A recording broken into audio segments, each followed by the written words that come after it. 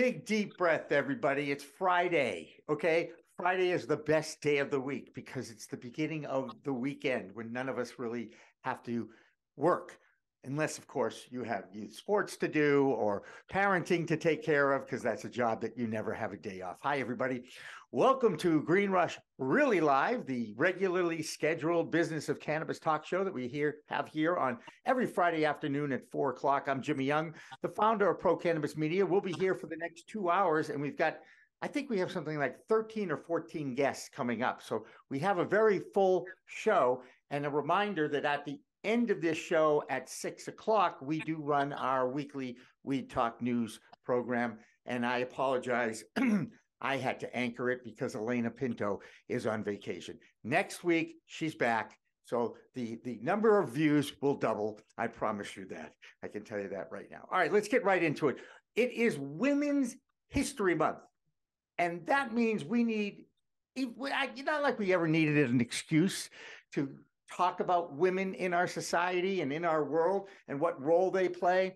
But if we have to do this every March, I'm comfortable with that too. Maybe we should do it once or twice during the year too. We could certainly talk about that. And joining us at the top of the show here today is Brooke Westlake. She is the uh, founder and CEO, I believe, of Women in the Cannabis Expo. And uh, Brooke, tell us a little bit. When is that next one coming up and where? So we are planning, we're actually building out for the next three years, which is pretty exciting. And thanks again for having me on. I love your show. Uh, this year, we're looking at hosting two shows because last year we hosted four and that was a lot. So we're going to do focus on East Coast, West Coast. And we are looking at Chicago is either going to be in June or August. And then Las Vegas will be September or October. We're just waiting for some other show dates so we can just kind of tighten things up and then we'll be making our announcements on the official dates. And then for the next uh 2024 2025 we will definitely be in vegas. We're going to be international in canada both years. And then we get to choose what other east coast cities we want. So we have two open options but that's that's what we're doing. We're pretty excited about it that's great. And I have a great keynote speaker for you who joins us now.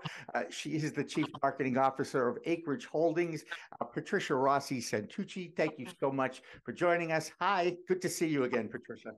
Thank you so much for having me, Jimmy. Looking forward to our conversation.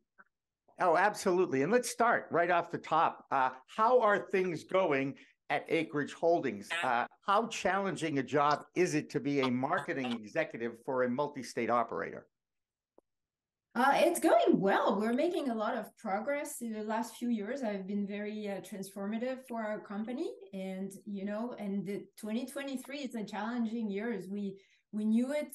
Uh, we we termed it uh, weathering the storm. I mean, what what can you know? Everything is in motion, right? There's more competition. There's price compression. I mean, China is meeting with Russia I mean, there's all these things, macro environment that is putting additional pressure to our industry and reinforcing the, the need for it to uh, really go back to the fundamentals of business and really focusing. I mean, we've we've having a lot of focus and discipline to make progress, and we start to see some results on you know retail data and all of that. So uh, a lot of work, but a lot of progress. And um, yeah, no, it's not easy. It's definitely not a a walk in the park, but that's cannabis for you.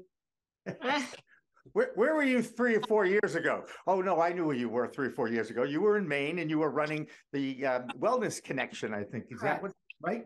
And yes. um, and uh, I got to interview you at a NECANN event. I'm pretty sure in Portland, Maine, which uh, if anybody has been following my life, uh, I spent a good 11 years of my career in sports at the CBS affiliated up in Portland, Maine, and I still have a lot of friends up there. And anytime that there is an excuse for me to go back to Portland between the months of May and October, okay? Because i'm not gonna i don't need to go back in november to to april. I just don't okay? Uh, it, it is colder in maine than it is in boston and if you're watching from california it's much colder here than it is over there. But i i, I do want to get into the the the multi-state operator uh, patricia. As you know uh, a lot of people are are looking look at the um, things that the MSOs are doing and they point fingers and they blame and they and they're they're all upset. But I've been one who always says, you know what, a new industry, a young industry, an industry that's writing the rules as they go along, needs this kind of support to keep it going. Is that mm-hmm. an accurate statement? Yes, absolutely. Uh, you know, you're a nascent industry. There's no, the path has never been charted. There's no golden book of how you should be doing it. So I think there's, um, it's important that you uh, really are creative, problem solving, and go back to some fundamentals because there's still some business fundamentals that we have to apply every day.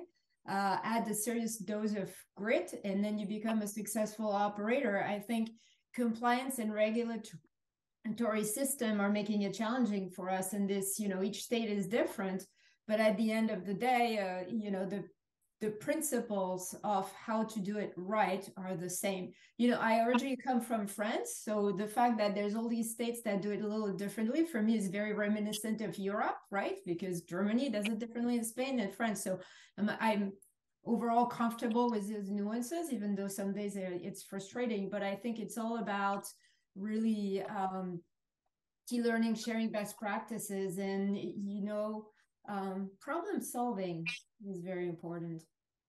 Um, which is another reason why I think women should be ruling the world. Um, Brooke, uh, talk a little bit. Uh, I, it's your turn, Brooke, to ask a question of Patricia. And I know that you have a few, but I definitely think that we should be focused on how challenging it is for women in the cannabis business and why aren't there more of them? So you can ask any other question around that. Go ahead. I would love to know, Patricia, what inspired you to get into the cannabis industry as a woman? Uh, you know, we are the numbers of us in this industry are dropping drastically and continue to decline and c-level positions and whatnot. So tell us what inspired you to be in this industry and why you're still here because we know you know and i know how challenging it is to be in this space.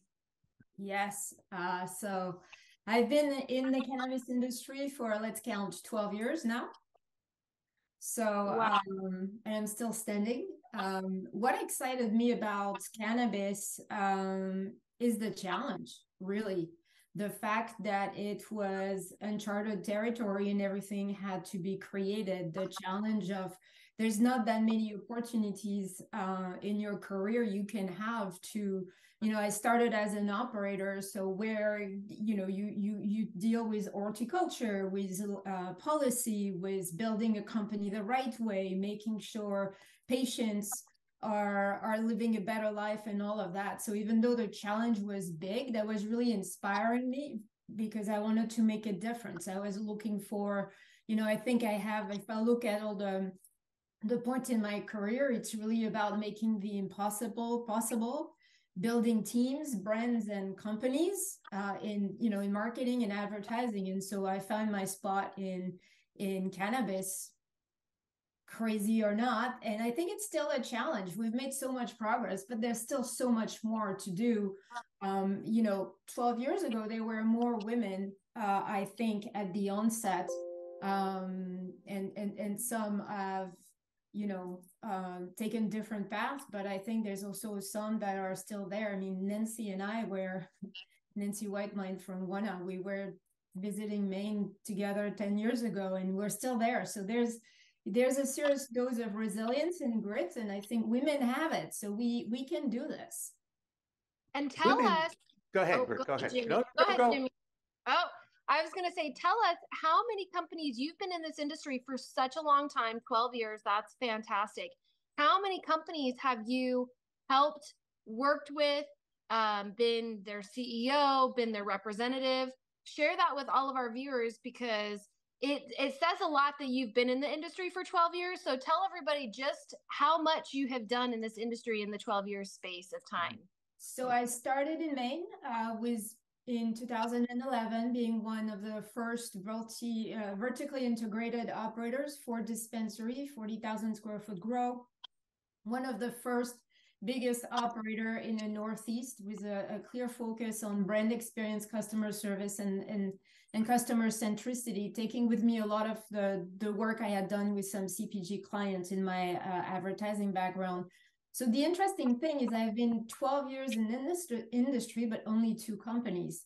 Uh, the first one was Maine, where uh, I was. I started as a board director, then became uh, VP of marketing, then CEO, then CEO for um, nine years. Uh, and there, I built a company, an all-around good company, uh, about 100 employees, um, thousands and thousands of patients, and really making a difference and being one of the first.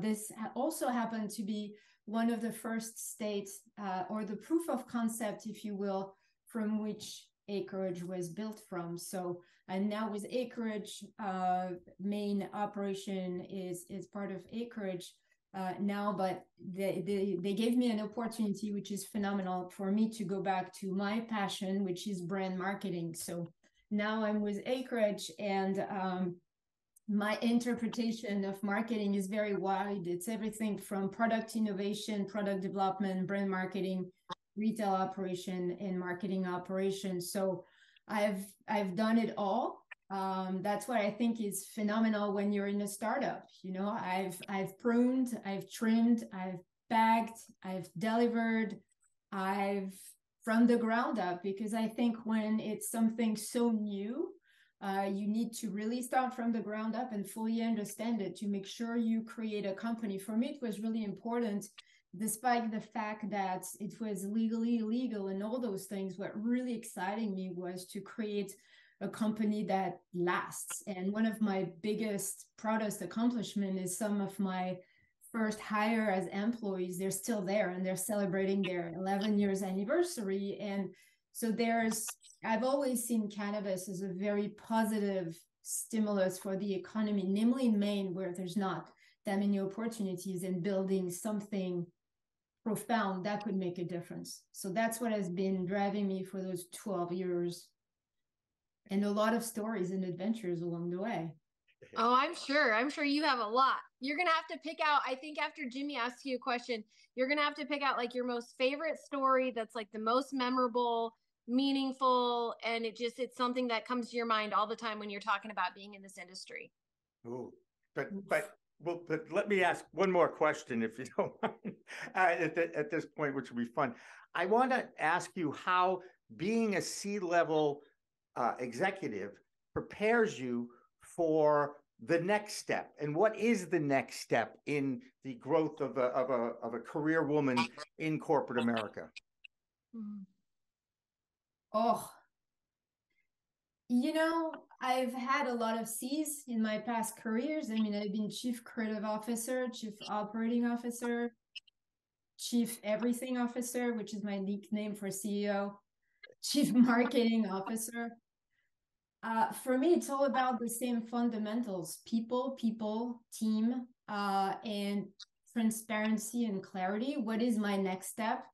I don't know. My next step is not really about a title. It's about the mission, it's about the passion, and it's about making a difference. Um, I think it's all about also the principle that you bring and having a, a certain um, vision or principles you you you know that's your north star that guides you through this what is my next adventure i don't know i have no idea we'll see it's fluid it's certainly great to be part of an industry like you're like we're all in, if you will, uh, that can make a difference in people's lives. I'm sure every person on this call and, and the entire show has heard hundreds of stories of people who say cannabis has saved my life, cannabis has changed mm-hmm. my life.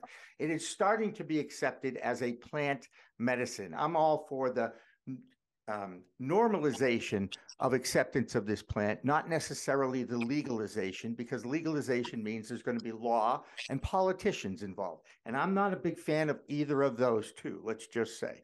That being said, um, acceptance. Uh, Aaron Smith, who's the head of the NCIA, said told me a great thing in front of a lot of people at Albany, New York, when they first um, made it legal in New York. They had a membership drive up there.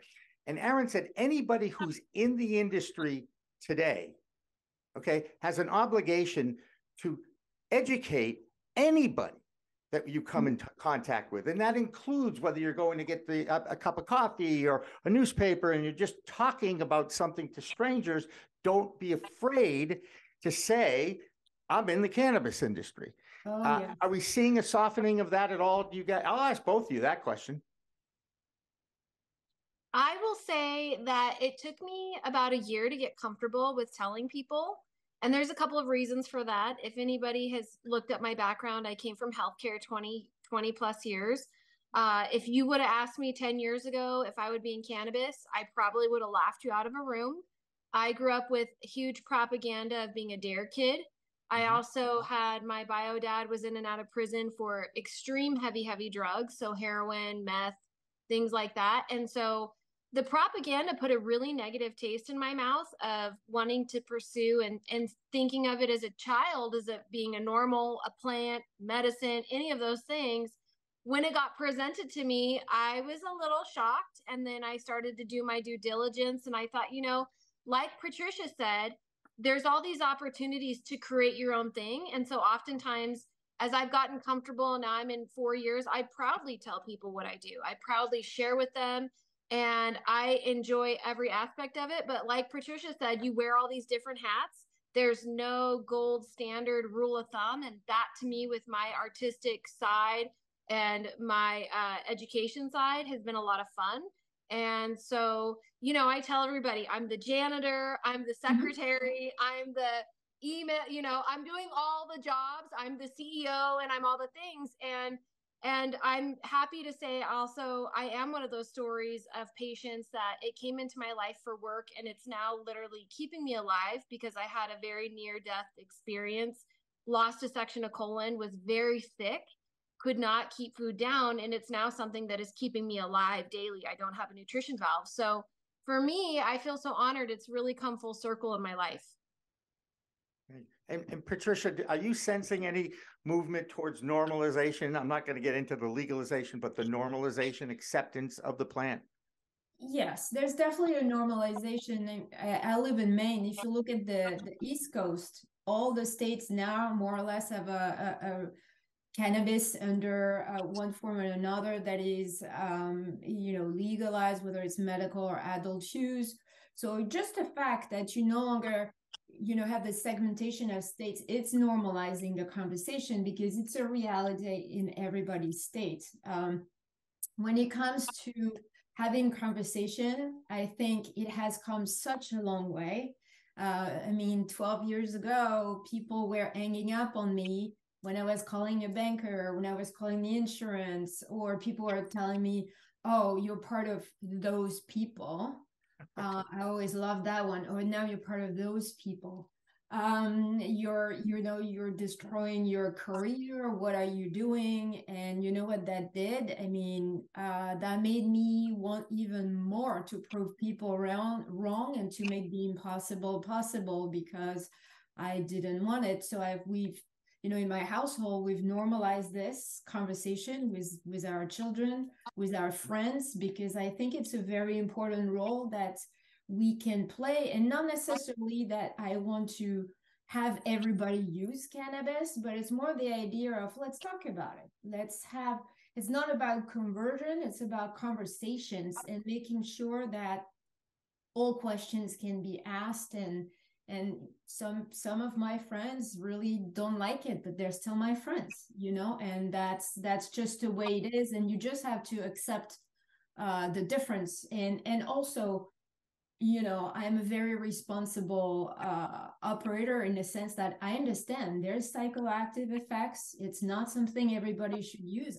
Absolutely. And i've always been advocate for safety testing and all these things. So i think there's it's easy it's it's it's similar to all topics in life. Making a generality is not the right way but i view this as an important part of what we do which is try to have conversations and see where they take you.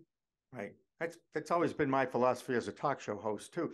Um, but i want to get into the brand the branding uh, the, the challenges of having strict rules about marketing and what you can say what you can't say and every single state has a different set of rules. And I'm pretty sure I just read this week that the state of New York is not going to allow billboards, which you definitely have in the Northeast. Um, almost every quarter mile uh, as you go west, east to west on the Mass Turnpike or west to east on Not the Massachusetts. Maine. There's no billboard in Maine, but yes.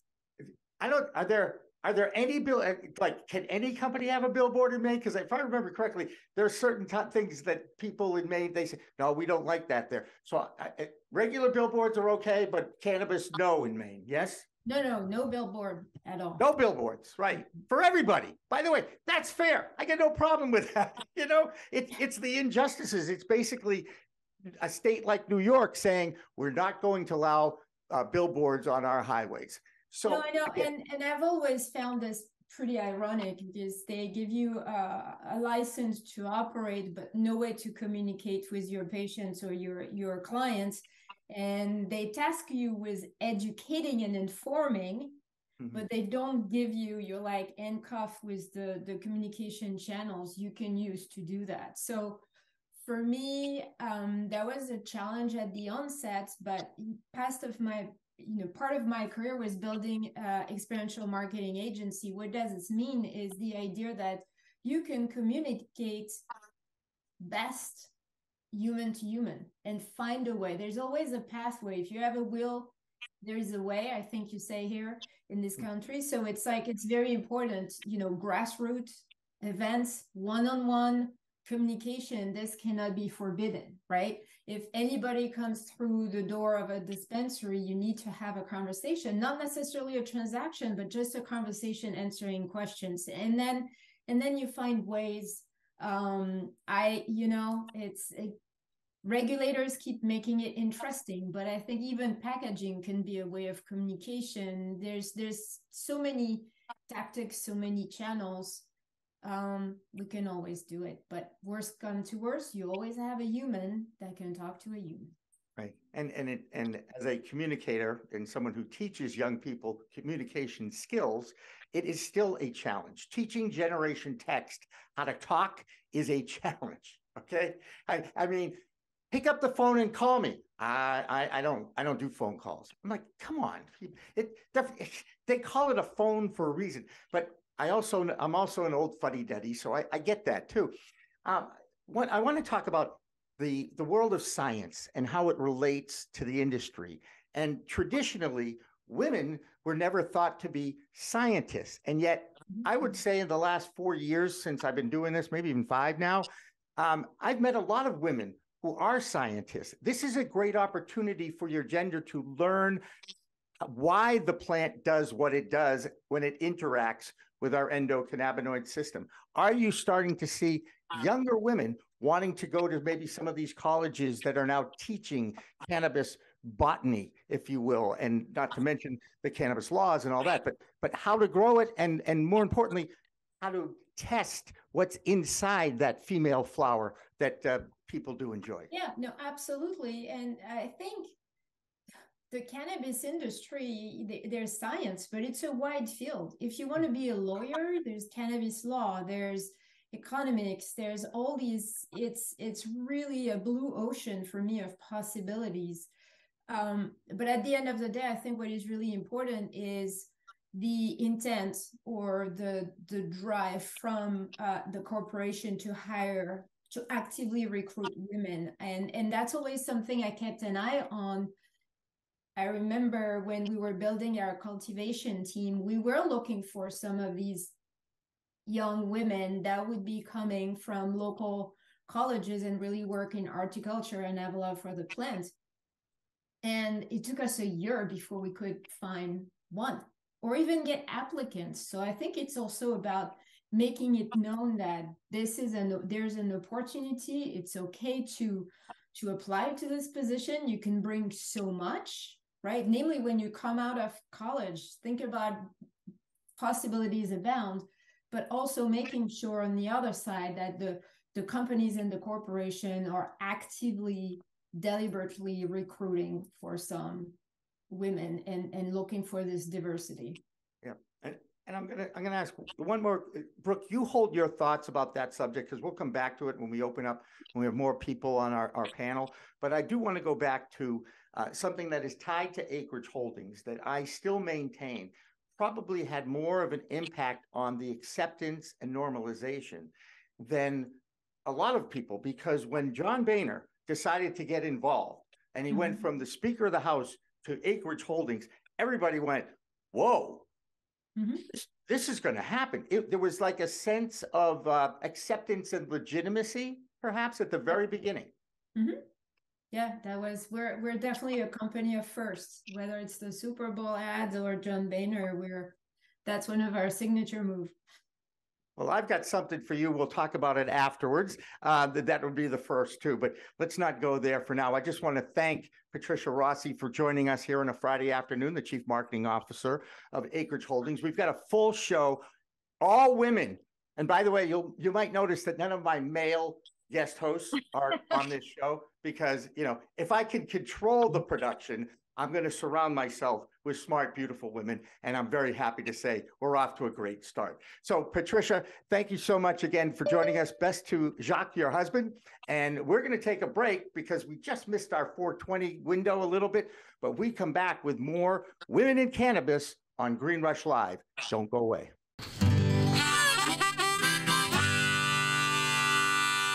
Yeah, this is a, a tune that uh, I wrote back in 19. I've forgotten.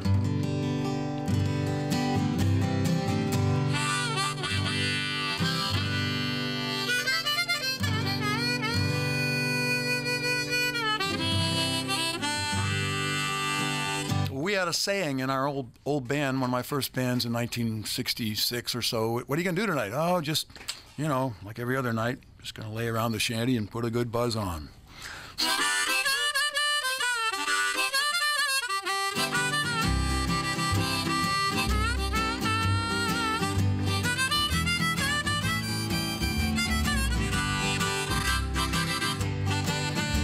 Gonna sit down in the kitchen, fix me something good to eat. Make my head a little high, make the whole day complete. Gonna lay around the shanty, oh mama, and put a good buzz on. Pass it to me, baby, pass it to me slow. We'll take time out to smile a little before you let her go. We gonna lay around the shanty, oh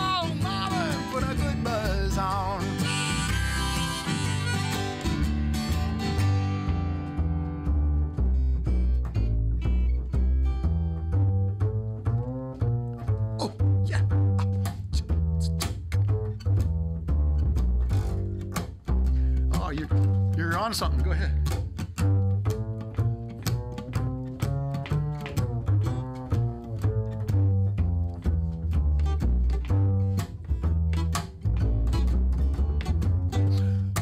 Rick Brodsky, everybody.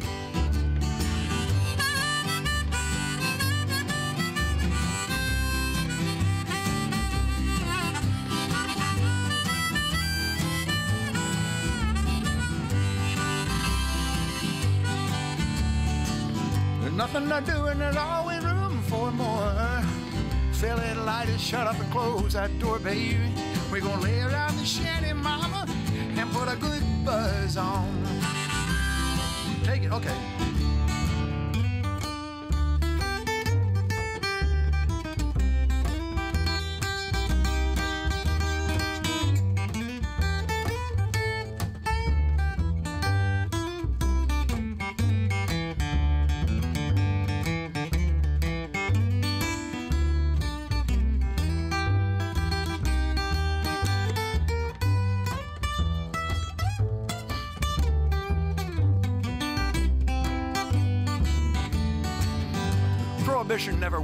Time to realize it. It grows in my backyard. It's time to legalize it. We're gonna lay around the shanty, mama, and put a good buzz on.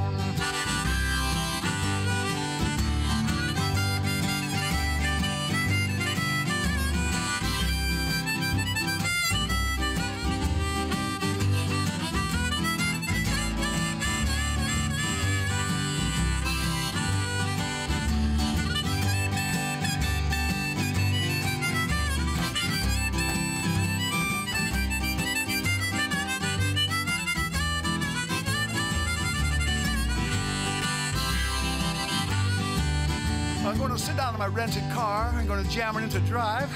Gonna head on out and play at WSCA with Sean. I'm glad I'm alive. We're gonna lay around the shanty, mama, and put a good buzz on every night and day. We're gonna lay around the shanty, mama, and put a good buzz on.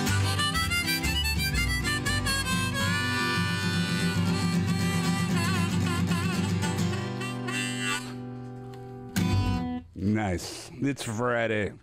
Thank God. Thank God Jonathan Edwards is joining us live in the WSCA studios.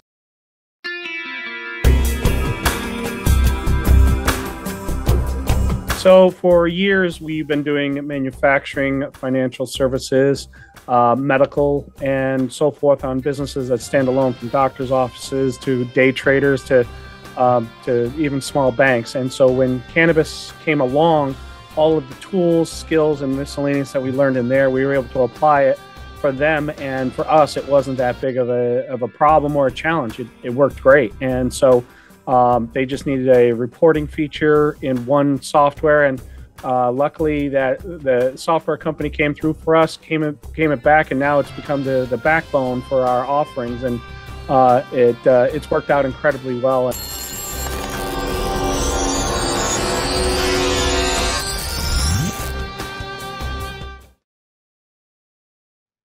And welcome back to Green Rush Live for a Friday afternoon here on Pro Cannabis Media. We do this every Friday at 4 p.m. I am the founder of Pro Cannabis Media, Jimmy Young, and I'm so happy to be talking about women in cannabis today. That's our theme, and Brooke Westlake has agreed to be my guest host for the entire two hours, so I really appreciate that. She, of course, is the founder and CEO of the Women in Cannabis Expo. But now, now we're really going to meet some movers and shakers, if you will, it, that are in the cannabis space and from all over the country, I might add. And I'm going to start.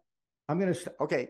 Just this has nothing to do with favoritism. Okay, I am going to start with with Thunder Walker because first of all, the name is freaking awesome. The hairdo, unbelievable. I need to know. I need to know who you are and what you are about. Go Thunder, go. Well, thanks for being here. I'm so glad to be here today. Um, what I actually do in cannabis, I started out in real estate uh, when I was 18 years old. And so I did everything to do with real estate and construction. So I started up Women Pushing Dirt because I wanted to go into areas that uh, were not thriving. But what I realized on those corners, there were people pushing more than dirt. So they wanted to know what I was doing on there. And I was like, I'm, I'm rehabbing properties and everything. So I named my company Women Pushing Dirt. So I'm the founder and CEO. And then I uh, learned a lot on those different corners and I moved into the cannabis space. And so uh, I took my real estate uh, knowledge and I became a cannabis appraiser and I do evaluations for cannabis businesses and I help people start up cannabis businesses across the country through Proud Mary Holdings and Proud Mary Cannabis. I'm also a public speaker and I'm a canna mom. I love that. My daughter is a cannabis patient and uh, I just really, really advocate for people with special needs or mental health issues that use cannabis for medicine. Absolutely 100%. Um, next up, uh, Jillian Xavier from Dreglo Cannabis Testing Labs. And I got to tell you, the testing labs have come under the microscope, pardon the you know, kind of pun there. Mm-hmm. Uh, over the last couple of months, more and more stories about, oh, this testing, you know, we've got to do better jobs with the testing. Tell us how you got into it and how challenging a job it is in the space you're in. So I got into cannabis uh, because my son, uh, DeAndre, at 18 years old, became my angel. So the company is named uh-huh. Dre Glow because now he's my shining light. He's the reason that I'm pushing forward. And also because I didn't want to get on the pharmaceuticals. They were telling me if I take this, I'll hallucinate. I'm like, who's doing that? I'll just smoke some cannabis and I will be good to go. And that's what I need. That's the medicine I use, you know. Mm-hmm. Um, getting into testing is exactly what you just said. There's no integrity on the market, right? Hmm. I am social equity with the city of Long Beach. I am the first woman to open a testing lab in the city. There are four labs in the city, all owned by males. So um, and I'm also from the island of Trinidad and Tobago. I want to make sure I say that because you know my grandma be like, "You didn't mention us." Um, so I'm in this business because I really believe in the science, and and it really has helped me. Um, I also have products. I have CBD products and hemp seed products on Amazon. So I'm constantly trying to do things with integrity as well. It's a tough business. It's a tough space. Um, I'm still in my license phase with the state and the city. You know, one hand washes the other, so it's it's it's a tough space to get into because I can't hold any more licenses. But integrity is why I'm here. Very cool. Very cool. Very cool. All right. And last but not least is Melody Erfani, the director of marketing. And I hope I pronounced your last name right. Good job. Yes, you did. you know, as I, I, I, teach enunciation, pronunciation, inflection, and cadence in my oral communication course. believe me, when I don't ask for a person's name, how to pronounce it first, I'm always like, oh, I hope I got it right. Tell us about what the uh, cannabis technology partners are all about and how do you market that? Yeah, so um, we actually started in uh, 2012 as a company, um, IT service company that does that basically acts as a company's internal IT department. Uh, we started out in uh, healthcare. So um, there's a lot of crossover. So about three years ago, we did our um, sub branding of Cannabis Technology Partners, and uh, we focus on dispensaries, uh, manufacturing, and grow facilities. So um, we are there for the strategy side of it. A lot of new companies coming in, needing to know what technology, what software, you know. Um, so we work with startups all the way to already established businesses and do everything from help desk to um, surveillance monitoring and putting up your video surveillance. So yeah. Gotcha. There you go. All right, Brooke, take over.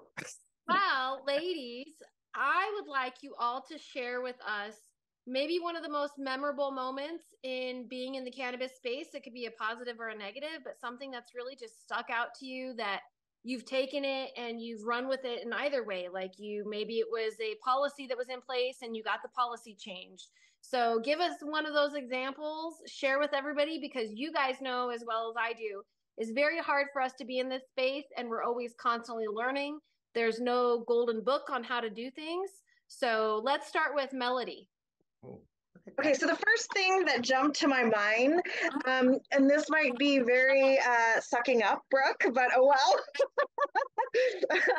um, you know, the people that I've met in this industry and the women that I've met in this industry, um, part, you know, majority and uh, through you, Brooke, uh, through the Women in Cannabis Expos and those conferences, um, I think it is very rare to have such entrepreneurs also take such good care of each other and to be uh, mentors and sounding boards and um, really support each other. So, so going into this industry, um, I've been grateful for that. And so uh, that's what kind of popped into my mind. So yeah, thanks for facilitating that.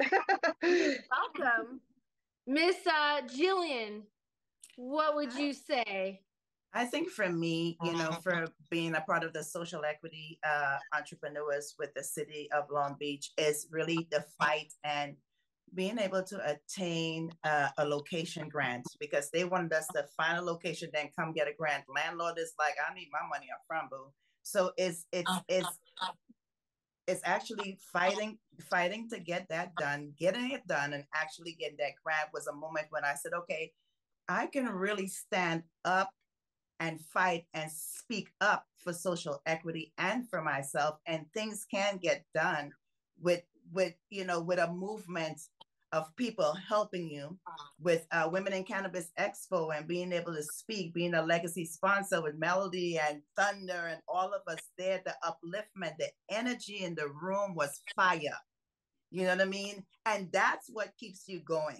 You know i heard the past speakers talk about resilience and you know what women have and that's what we have is that resilience to keep going in the storm and out of the storm you know what i mean in the season and the right season till we catch the right season you know so that's mm-hmm. what's yeah women in cannabis uh, expo for sure big kudos to you brooke oh That's nice. okay, Miss Thunder, you're up. All right. Well, absolutely. It's the Women Cannabis Expo. Um, the first time, uh, but I'm going to give you two because I, you know, so we'll have some more information. But the first time I ever spoke on can on cannabis at an event was the Women Cannabis Expo, and it was an amazing, amazing time. It was in New Jersey. I was very nervous. I was coming out of a difficult situation, and the support there was just truly fire. It was, and then to be able to share my story, and then to come back and win Woman on the Rise in Cannabis for the East Coast I left that event feeling on fire. I left that event feeling uh, a new form of life and a new passion. And I was able to connect all of the dots in my life, whether it was good or bad, all the things that I've learned in real estate and in cannabis, and move forward. Then I wanted to project a image of myself out to the public that they would understand that this wasn't just a one time fluke. I wanted to be able to open the door for other women. And so I formed Proud Mary Holdings while I was in New Jersey at that particular event because I realized there was just a lot of women coming up and they were scared. They were they didn't really understand what was needed. And what's mm-hmm. amazing about the United States of America is everything that is needed is in real estate. So I was able to connect those dots for those women and open a door for them. So uh, just being able to see more and more women come through the door from the expo and now even into the future. It's been a couple of years since that uh, first initial meeting and conversation that I had with Brooke.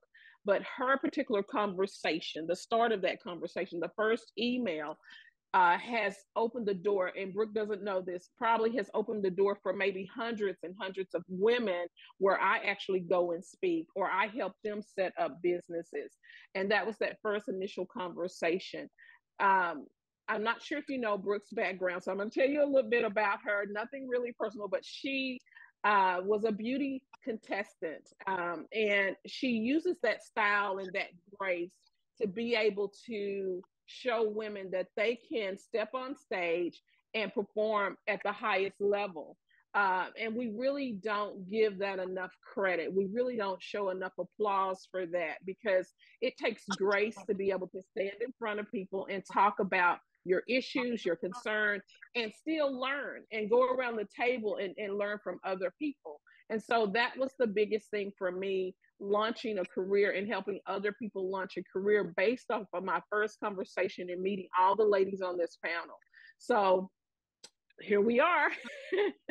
and the rest is history. Transfer, transferable skills. Um, I don't, again, I probably should have done my due diligence to find out how many of you are actually parents of children. Okay. That, that being said, the tough, that is by far for any parent out there, we all know it is absolutely the hardest job any of us ever have. There's no training for it. You know, God gives you, actually, excuse me, the woman gives you a child. Okay. All we do is cause it. Again, you know, men are just useless except for, no, I'm only kidding.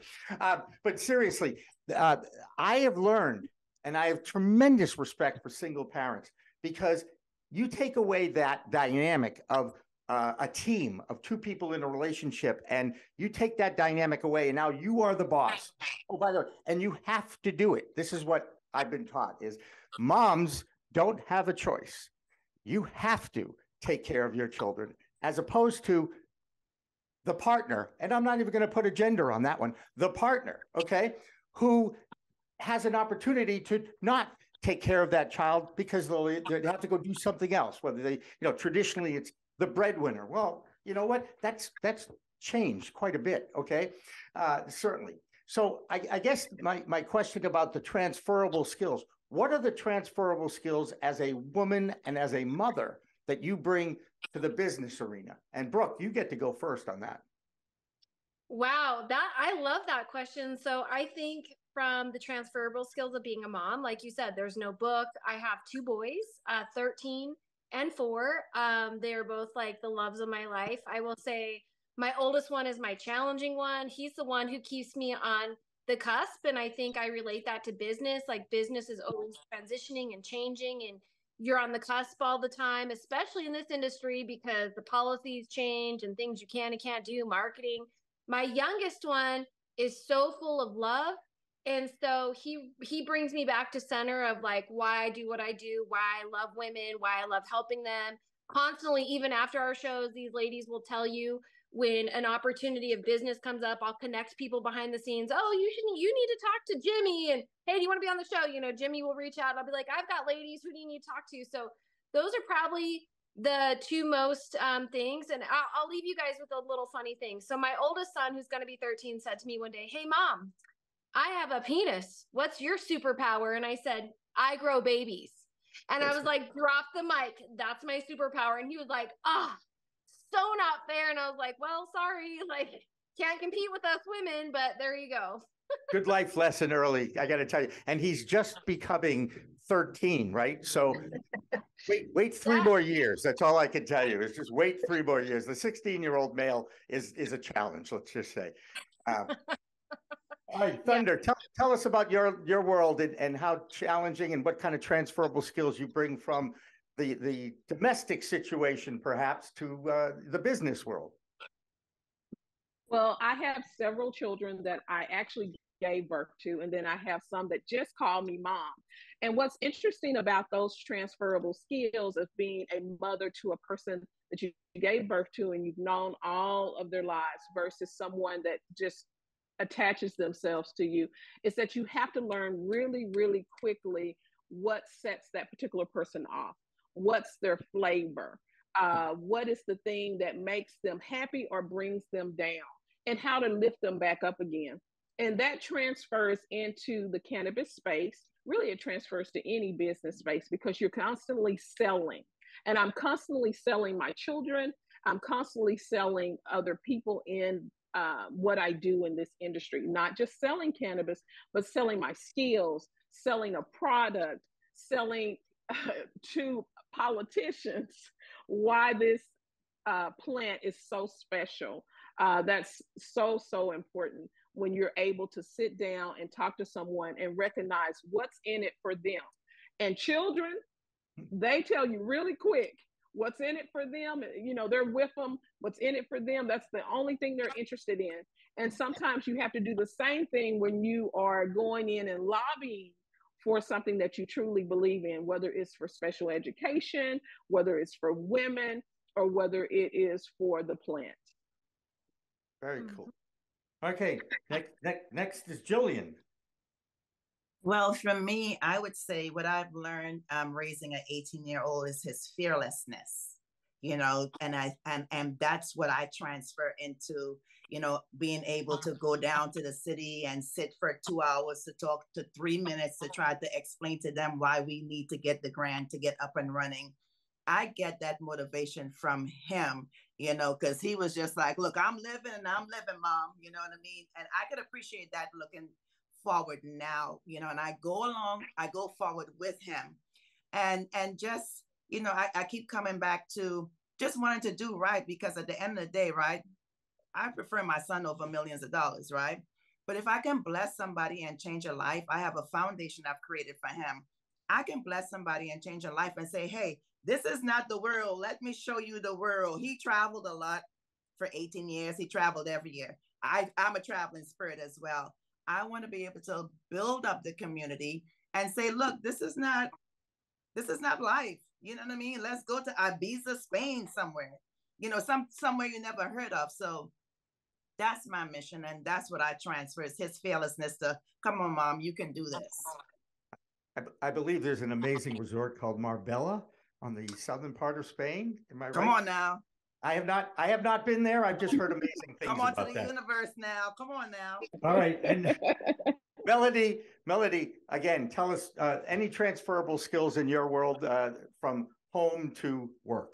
Well, um, I'm not a mom, but I am a theater artist. So I uh, write and direct. And so I've created two plays, and those are kind of my children. My sweat, blood, tears, soul have gone into them and I think the transferable skills are um, something that you're passionate about and that creativity um, can go through all aspects of your life. Um, and when you attach joy to it, um, then it doesn't become as hard. There are hardships through whatever at home life or, or business life, but um, being present and um, finding the the beauty in it uh, goes a long way. And this is the third. This is the third baby. This is my. I was going to ask you. Me of my joy. You are a mom. yeah, I'm a dog mom.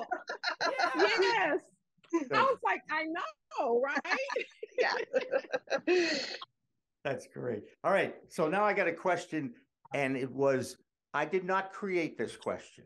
It came from a female that's in my life. Okay, I'm I'm making I'm giving credit. I'm you know I'm attributing this question because it's a really good one, and I think every one of you is going to be able to identify with this. In your experience in business, are there any examples you can share about instances that would never have happened if you were a man? I knew. Oh, that- I'm sure I- how many? How many are going? How many are going through your mind right now? Right? That's right, Brooke. Just trying to Absolutely. find real estate. Just Yeah. Okay. trying to, just Yeah. trying to find real estate and walking into the door and they look at me and they're like, okay, Jillian Xavier, they say Xavier or Xavier. So it sounds like it might be a white person, uh, you know, a Caucasian person. So when they walk in, they're already shocked. They're like, hmm. And and it's like, okay, so is the business yours or are you coming to represent somebody else? I'm sorry. Is the business yours or am I, I'm sorry, is the business yours or am I call, am I here to represent somebody else? And I'm like, no, it's my business. So the real estate part of it of uh being discriminated against, I guess, you know, and yeah, you're you're a woman, you're not, you know, Right. Hold on. where's your male partner? Right. But by the way, that doesn't that doesn't matter anymore. No. Right. Right. I mean, come on. We have we have progressed a little bit despite our leadership. That's the only political statement I'm going to make. Okay. And I mean, the leadership over the last 20 years, let's throw them all under the bus. Okay. Really, because what happens too much, and you've already mentioned this, guys, um, is labeling, finger pointing, and blame. It just, that, that doesn't help. It just doesn't help. Um, anybody else want to throw in some examples? Come on, there are good stories out there. Go ahead. I have a, a complete example, and I agree with you, Jillian. Real estate is that frontier. I've had over, God, 40 years worth of real estate experience real estate appraiser, mortgage loan officer, closer, uh, real estate broker, com- construction builder, all of those things. And um, I've set up commercial properties, own commercial properties. Real estate is the issue when it comes to women and trying to lease a property and or maintain a property. So I leased my property um, that one of my properties that I use, and um, the landlord will only speak to my male partner. And so um, he will only speak, he will only take rent from the male partner. He it's just, you know, it's oblivious. But for me, um, I have bigger fish to fry, and uh, I intend to be successful regardless. So, you know, I understand that that is an issue, and that's why I teach on cannabis real estate. I teach on the green zone. Uh, we have signed a long lease, and so I won't let anyone interrupt me from being successful and from my business being successful. But you find those people out there that own commercial properties in a green zone, and they only want to talk to men. And that's really, really, really still happening. Yeah, that's sexist. We all know the word for it. Okay. Um, Yes. um, go ahead, uh, Melody. Um, you know, it's little instances of when um, you're talking and then uh, talking over, our, especially since I'm in technology. Um, and though I am not the person doing the technology, I've been in this technology business for quite a few years. Um, not believing, oh no, you you don't know what you're talking about. And I'm like, well, I do. um, so I, I, guess it's the being taken seriously is kind of just in a very general situation, and I can think of a couple instances. And so um, it's the battle again, kind of what Thunder said. What battles are you going to fight? You can't change. Uh, what's your energy? You know, right. if it's going to be someone I'm um, that I'm constantly dealing with, yes, maybe a conversation is needed. Or if it's just a this one time interaction, it, it, my energy is is better put somewhere else. Absolutely. Mm-hmm. Brooke, go ahead. Yep, I will say that um, both times I was pregnant, I was challenged by men if I would return to work. The second time I was challenged, I was in graduate school at 37 years old and found out I was pregnant with my second last child. And the dean was like, Well, if you need more time. And I was like, I got businesses to open. I'll be done in a year and a half. And they were like, Okay and that was nice that they were in some way like trying to be considerate but i was like i have a mission i will say this having the women in cannabis expo i have had males reach out to me and they have said oh we probably can't attend your event because we're male. And i say no we want you there. If you're a spouse of someone boyfriend supporter uh, even if you work with women in the industry please come and support us. Yes we are women centric no, we do not exclude men from being a part of our events. We want you guys there to uh, invest in women owned companies, see what other women are doing. How can you help them? Who can you connect them with and network with? So we welcome men in our space, even though it says Women in Cannabis Expo. Men are welcome to participate with our event, and we've given away a couple awards to males and we've had some phenomenal mayor male sponsors so we we thank you guys we want to work collaboratively with you, uh, but we still, our majority is uplifting women in the business. Yeah. I'm, I'm going to guess that the men that are there enjoy the ratio. I just want to say, because, right? I mean, not that I, not you know, wrong, keep score of that. Not wrong. I have I happen to have been at a women in cannabis conference in, in, Vegas in 2019, and I think there was maybe a dozen males to 300 women in there. So let's just say uh, we enjoyed ourselves. Um, I got to tell you, this was great, but but I have to ask a question of Thunder, okay? Because I got to know about the hair, okay? I've got to know how long did it take you to grow that? How much upkeep do you have to have? I mean, is it is it is it a burden? I guess would be the question. It is not a burden. Okay, so uh, I've been wearing my hair natural since 1991. They're actual dreads, and as they grow out, uh, and it's loose dreads. And what that means is there's no combing, there's no messing with. I have a, a hairdresser that does it once a month and just gets it refreshed. Um, but no, this is it, guys. This is it. I'm going to start my speeches off like that from now on. When I'm publicly speaking, I'm going to start that conversation it's, from the beginning because right. I always get that you can say, but it's not a hair, The hair is real, and so am I. You know, that's how you right. That's right. Right. That's right. So deal deal with that. Hey, listen, uh, this was this was great, and I know that the next two half hours now we've set the bar pretty high with with already a, uh, a, the first good hour here, but we have two people that are coming on in just a few minutes that are two of the most influential women in the cannabis industry they're always on the high times lists and and one is jamie pearson and the other is Sundie Seefried and they're both going to be joining us after this break but i want to thank thunder melody and jillian uh, for joining us here this half hour and i hope you will continue to like share and subscribe to the pro cannabis media world that's out there because we we we welcome everybody in our world okay? Thank you for having us you bet. Thank we're going to take it. we're going to take another break, quick break, and we'll be back on the other side uh, with more of Green Rush Live on the Women in Cannabis themed show. Don't go away.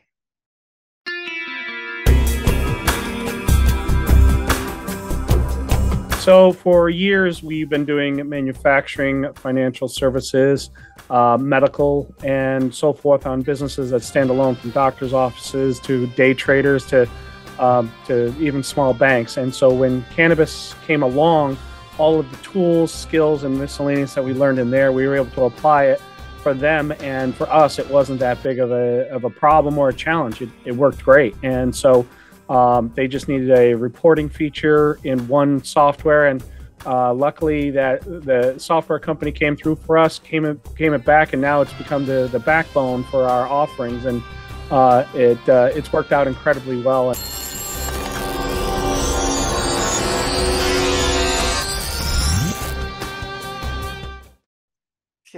Yeah, technology. I'll never understand it. I'll what it never like it, but I'll play in it. All right, Sundie, uh, tell us how Safe Harbor Financial is doing, and is it all doom and gloom out there in the cannabis industry? That's all we hear about now. Yeah, I, you know, I don't think so. I, Good. you know, we deal with a lot of companies and I, and there's a lot of new companies getting new licenses and I, I see a lot of thriving markets out there. I think what we're seeing is, um, competitive forces that are forcing somewhat natural correction in the market. I mean, even if you take Colorado as an example, people used to fly to Colorado to buy all their cannabis and take their vacations, and now they're not doing it. So you're seeing just a natural correction as these other states actually legalize. There's not a need to come all the way to Colorado to do it anymore. So I um and I think the the other thing is is the new entrants coming into the market have bigger advantages than those who pioneered prior to.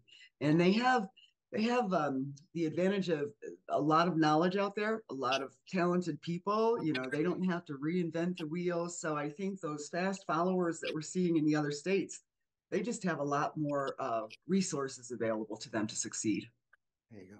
Brooke, I know you have questions for both of these people, so I'm going to allow you to take over. Well, thank you. So I'm going to start with Sundie, and then this one will also go to Jamie as well. What inspired you to be in the banking part of cannabis? It's such a it's it can be such a frustration point when individuals or companies go into this space. Uh, you know, usually they'll go down to their family bank. That's what I did uh, to get my account open, and they said, yeah, we can do it. And then all of a sudden, as it went up to the higher chains of command and they figured out, you know, they had a discussion, they said, no, we can't, we can't touch you with like a 10 foot pole. So what inspired you to go into the banking aspect of cannabis for cannabis businesses? Well, I think you remember that I, I was going to retirement in 2014. And then suddenly this just landed on my plate. And, you know, the board was concerned I was going to start the project and leave. And I really said it's only going to be a five year project. We'll talk about a five year contract. But that really changed.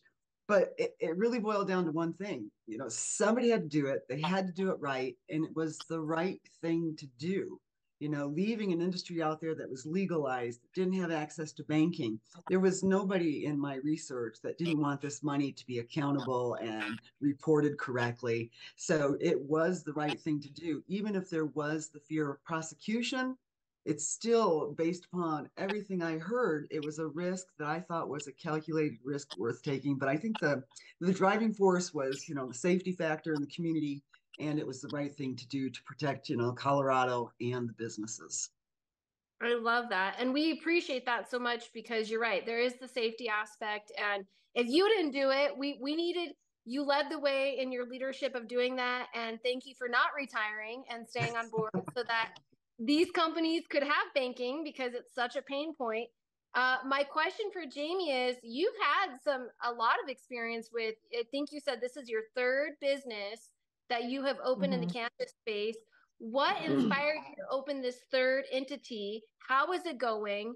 And what's been your favorite highlight so far of going and having this New Holland group that you've created? one of the things I loved about working at Bhang was, you know, going, uh, taking the brand across state lines and across borders. Um, you know, in the industry where you're still in prohibition and you can't, um, I can't just manufacture chocolate in one place and then ship it across state lines. I had to have essentially 50 different relationships and a relationship in each country. Um, what I realized was um, the work that I did in investing in real estate was really beneficial uh, in in bringing a lot of those, you know, creating the relationships and finding the commonalities in the rules so that we could have efficiencies across all of those differences. Um, and what I realized after doing that for seven years is that there are a lot of people out there that um, have had their head down, have been focused on, rightly so, whatever it was that they were working on, and then realized, okay, well, now I'm ready for expansion. And they're at the beginning of that process, and I could actually make it easier for them, uh, sort of help them leapfrog that learning curve. Um, and in a former life, before I was a real estate investor, I was a middle school teacher. Um, I have a master's degree in education, and you know, did a lot of curriculum design work um, and was a college professor at the University of Oregon. So teaching's in my blood. And I was just fortunate enough to be in a position where I could pick and choose what I wanted to do. And helping people has always been, um, you know, near and dear to my heart. It's what makes me tick, so to speak.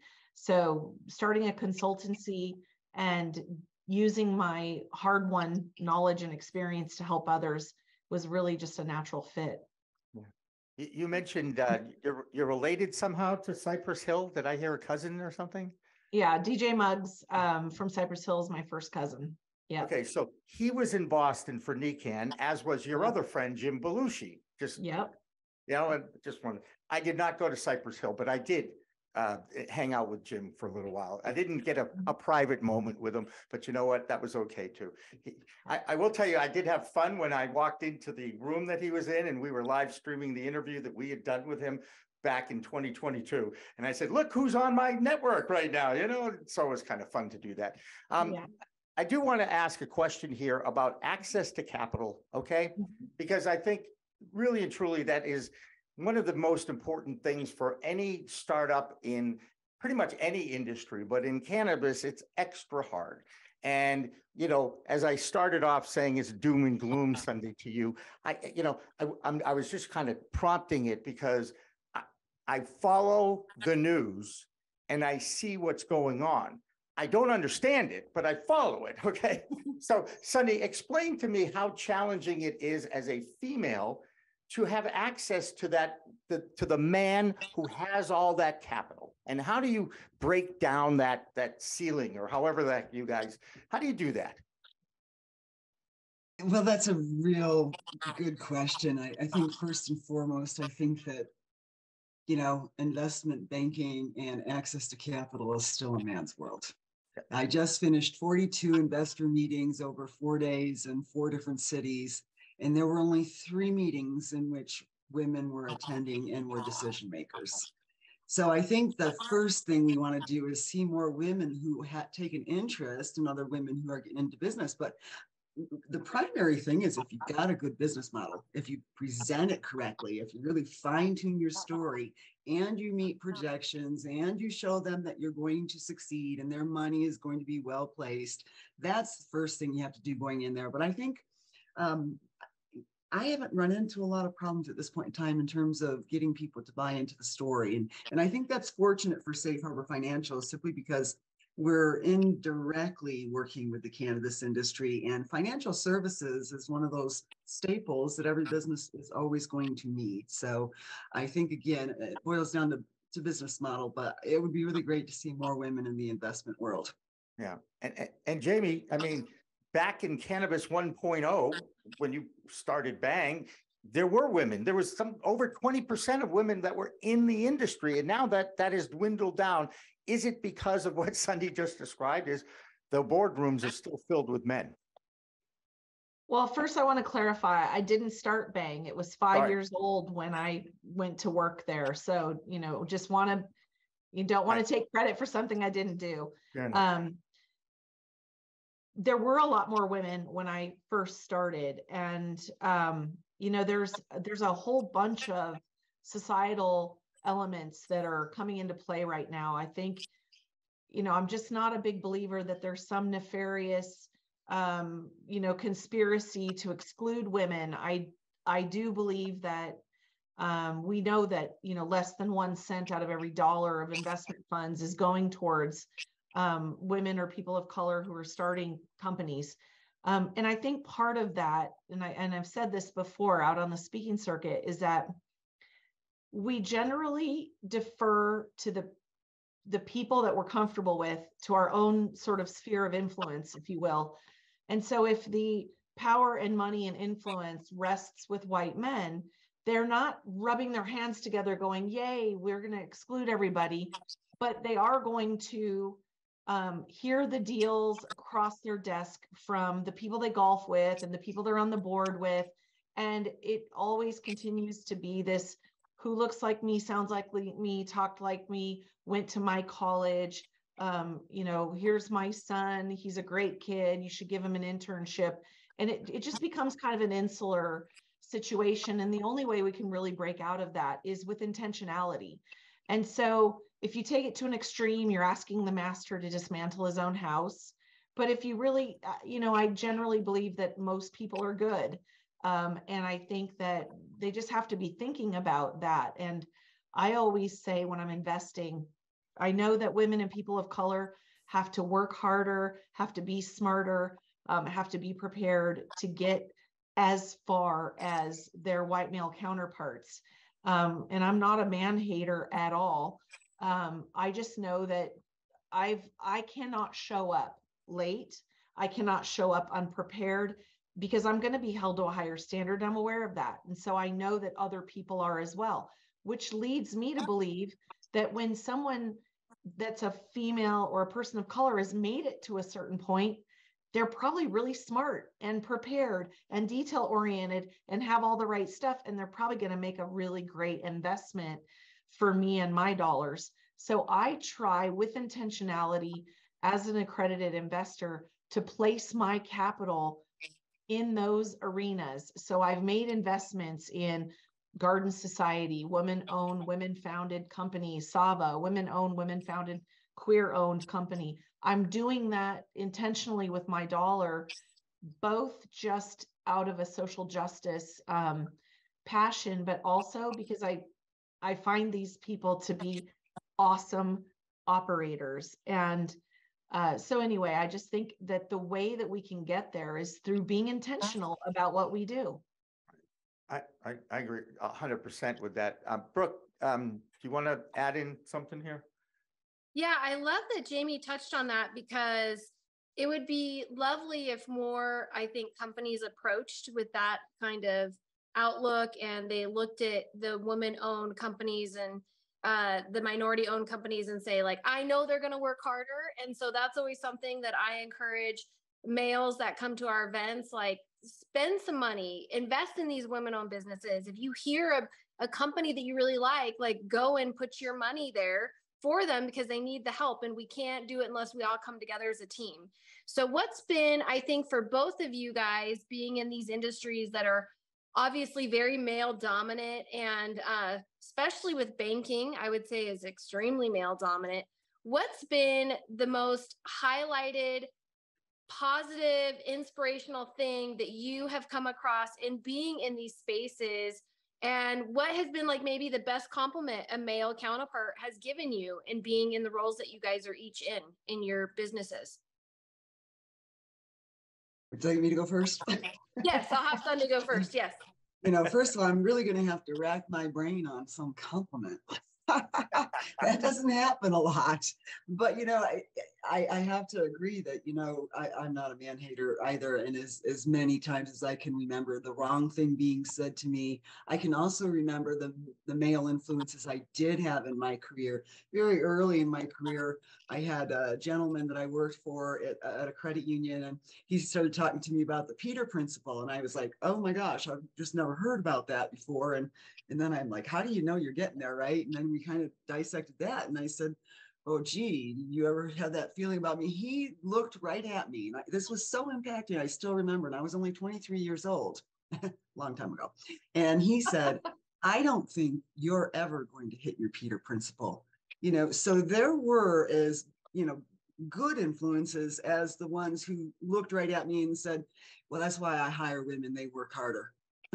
You know but that's what they keep them and i have to agree that mentoring and grooming you know we're we're now in that place where it matters standards have changed in the workplace you cannot minimize women or people of color at this point in time that standard has changed and i think we're going to see a lot more of that mentoring and grooming and, and moving up through the organization just because the standards of the workplace have changed in the last five years And you know, I what, think, though, to men. I think I want to add to that though. I think that um I'm tr- I try to be careful with the the concept of grooming and mentoring because one of the things I've realized is as I've gotten deep deep into the industry at, at a high level is that um what a lot of women and people of color need isn't grooming or mentoring it's just access to money.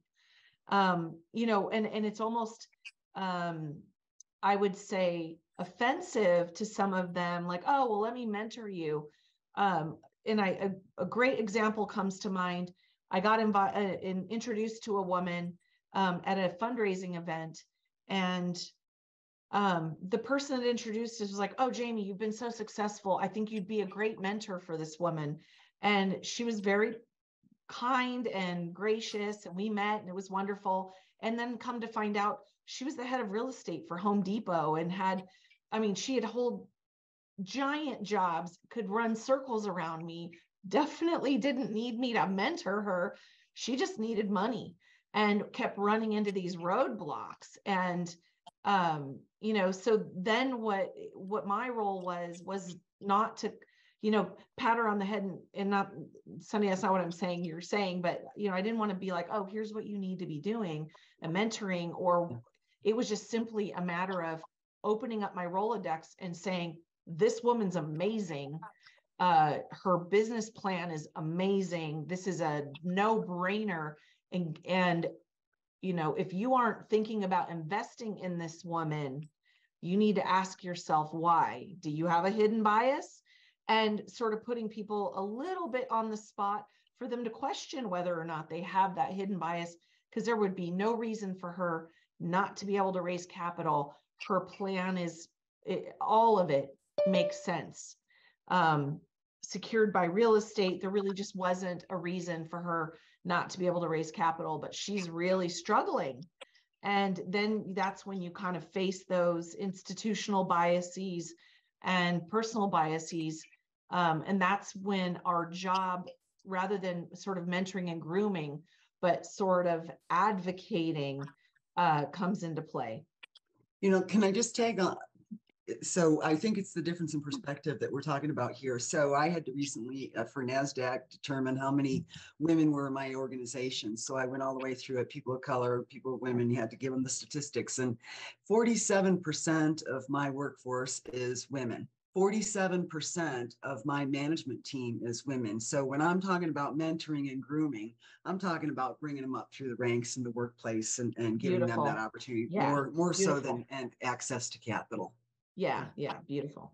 Yeah. There you go. Brooke, did you have something to add here? Because that, that- I will say, I you know, I um, I love mentorship. I have mentored people. I've been asked to do some consulting for the cannabis side, but I've also been mentored by some very amazing, strong men, and I feel very fortunate with that too because I've always kind of sought out mentorship from both males and females to get me where I need to go. I've always kept older, wiser people in my life for that reason. And I even had a friend say to me, like, you have a lot of older people in your life. And I said, yes, they've lived, they've experienced some stuff. And I don't want to necessarily make some of those same mistakes. And I love, I love getting mentored.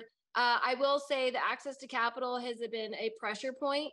Um, one of my main main people is a male that has supported my my business for the past three years and i feel so honored that he lets me go and do my thing. And then I get to share with him what I've done. And then if I feel like I'm stuck somewhere and I'm like, this isn't working, what should I try? He'll give me ideas, but he's like, you, you go shine, you go do you. Um, but it's been, it's been, I feel I've gotten a very shared blessed model when it comes to that. I get that UBU thing from my life partner a lot. I just want to say, okay, I think she's given up. No, only kidding. Uh, guys, uh, this has been great. I, I want to throw one thing out at you, and we're, we're up against it. So I'm just going to wrap this up. But there's a book out there that changed my perspective on gender. And I've talked about it on my show before, and maybe I've mentioned it to, to Jamie. But the book is called The Macho Paradox, and it's by a guy named Jackson Katz, who I had the honor of interviewing uh, when I was a sportscaster in Boston in the 90s, and he was involved with the Sport and Society Center at Northeastern University. And it's all about the, the how there are differences between men and women, and men, if they're going to actually make a difference, have to call on other men to change how they think, as opposed to waiting for the women to make that point to the man. And you know, on and then of course there's a paradox. You know, the man in in history is supposed to be the breadwinner and the, the strong one, and and you know controls all the capital and all this. And I don't know about you. I, have said it. I think the white, the old white man has screwed up this country since we got here in, in the 17th century. I mean, look what we did to the Native Americans for crying out loud when we got here, right? And then, of course, they started to take the land. My real estate investor friends on this call. Okay, so it is. Uh, it, it's time. It, I really would like to live to see the day where we have female leadership, and I know we almost did. Okay, I know we almost did. And I don't want to get into politics and why and all this stuff, but it is time. It really is time to make changes in our world, and I really hope that at some point we'll we'll see this in my lifetime. But Jamie Pearson, I don't need to tell you how much I love you, okay? Because mm. you know, thank you for coming on. And Sundie, it, it you know, every time you come on, you say something that I remember, which is unto itself. okay. And I really appreciate um, you taking the time because I know this was a short kind of turnaround for you. So thank you for that too. No, I just want to say it was nice to meet you, Brooke. I've followed you from afar and Sundie uh, Sundie, I've been a fangirl from afar. We've never met, but I mean, what you've accomplished is incredible. And anyway, I'm happy to have shared a screen with you. Oh, well, thank you. It was great to You're meet you. so nice, Jamie. God, I mean, love that. Yes. Okay. All right. We've got to take a break. We're going to fill up the room again with some other smart, beautiful women because that's just what we do here. And uh, uh, don't go away. Green Rush Live continues after this.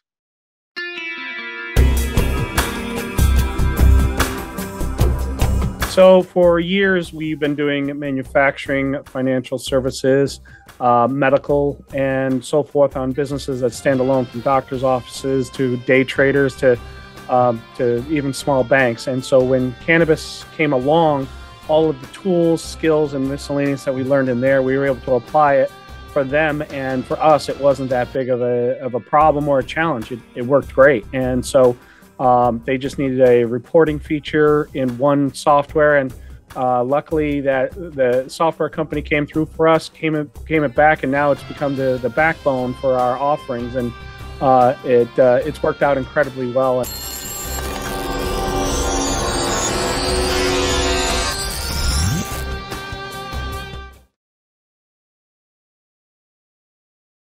Okay, I'm, back. Go ahead. I got you. Welcome back to the final half hour of Green Rush Live, our regularly scheduled, really live business of cannabis show that we do every Friday and have been doing it now for three years in this time slot. And I get a lot of I get a lot of pressure from people, mostly men, by the way, who say to me, "Why do you do it on Friday afternoon at four o'clock?" I said, "Because I want you to show up." All right. And, and it also has something to do with the fact that Friday 420, you know, I'm hoping my audience is out there enjoying and relaxing and chilling out and enjoying what they do. That's what we do. I am Jimmy Young, the founder of Pro Cannabis Media and the sometimes host of Green Rush Live. Um, we also have our new show that follows this really live talk show at the top of the hour. So you'll get to watch me anchor and see if I've lost my touch uh, reading off a teleprompter. It, it is what it is. I promise you, Elena Pinto will be back next week because I will say this my numbers are half what Elena's numbers have been. So, again, another reason why women have an opportunity in television on a regular basis. And I try to give as many opportunities to people who want to learn this crazy business as possible.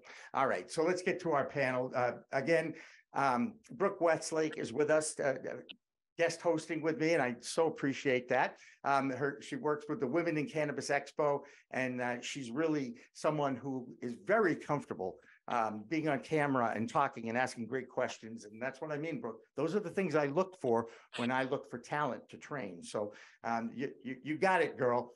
Uh, we have with us Dale Sky Jones from Oaksterdam University.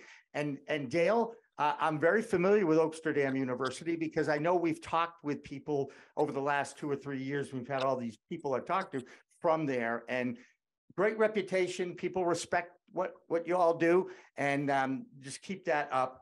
I also want to bring back in Patty Pappas. Now, I say bring back in only because I met her at an MJ Biz. I'm wait, was MJ Unpacked, if I remember correctly? Yeah, Pat, correct. MJ Unpacked, yes. The first one, George's first one in Las Vegas. That's where we met. I remember that interview.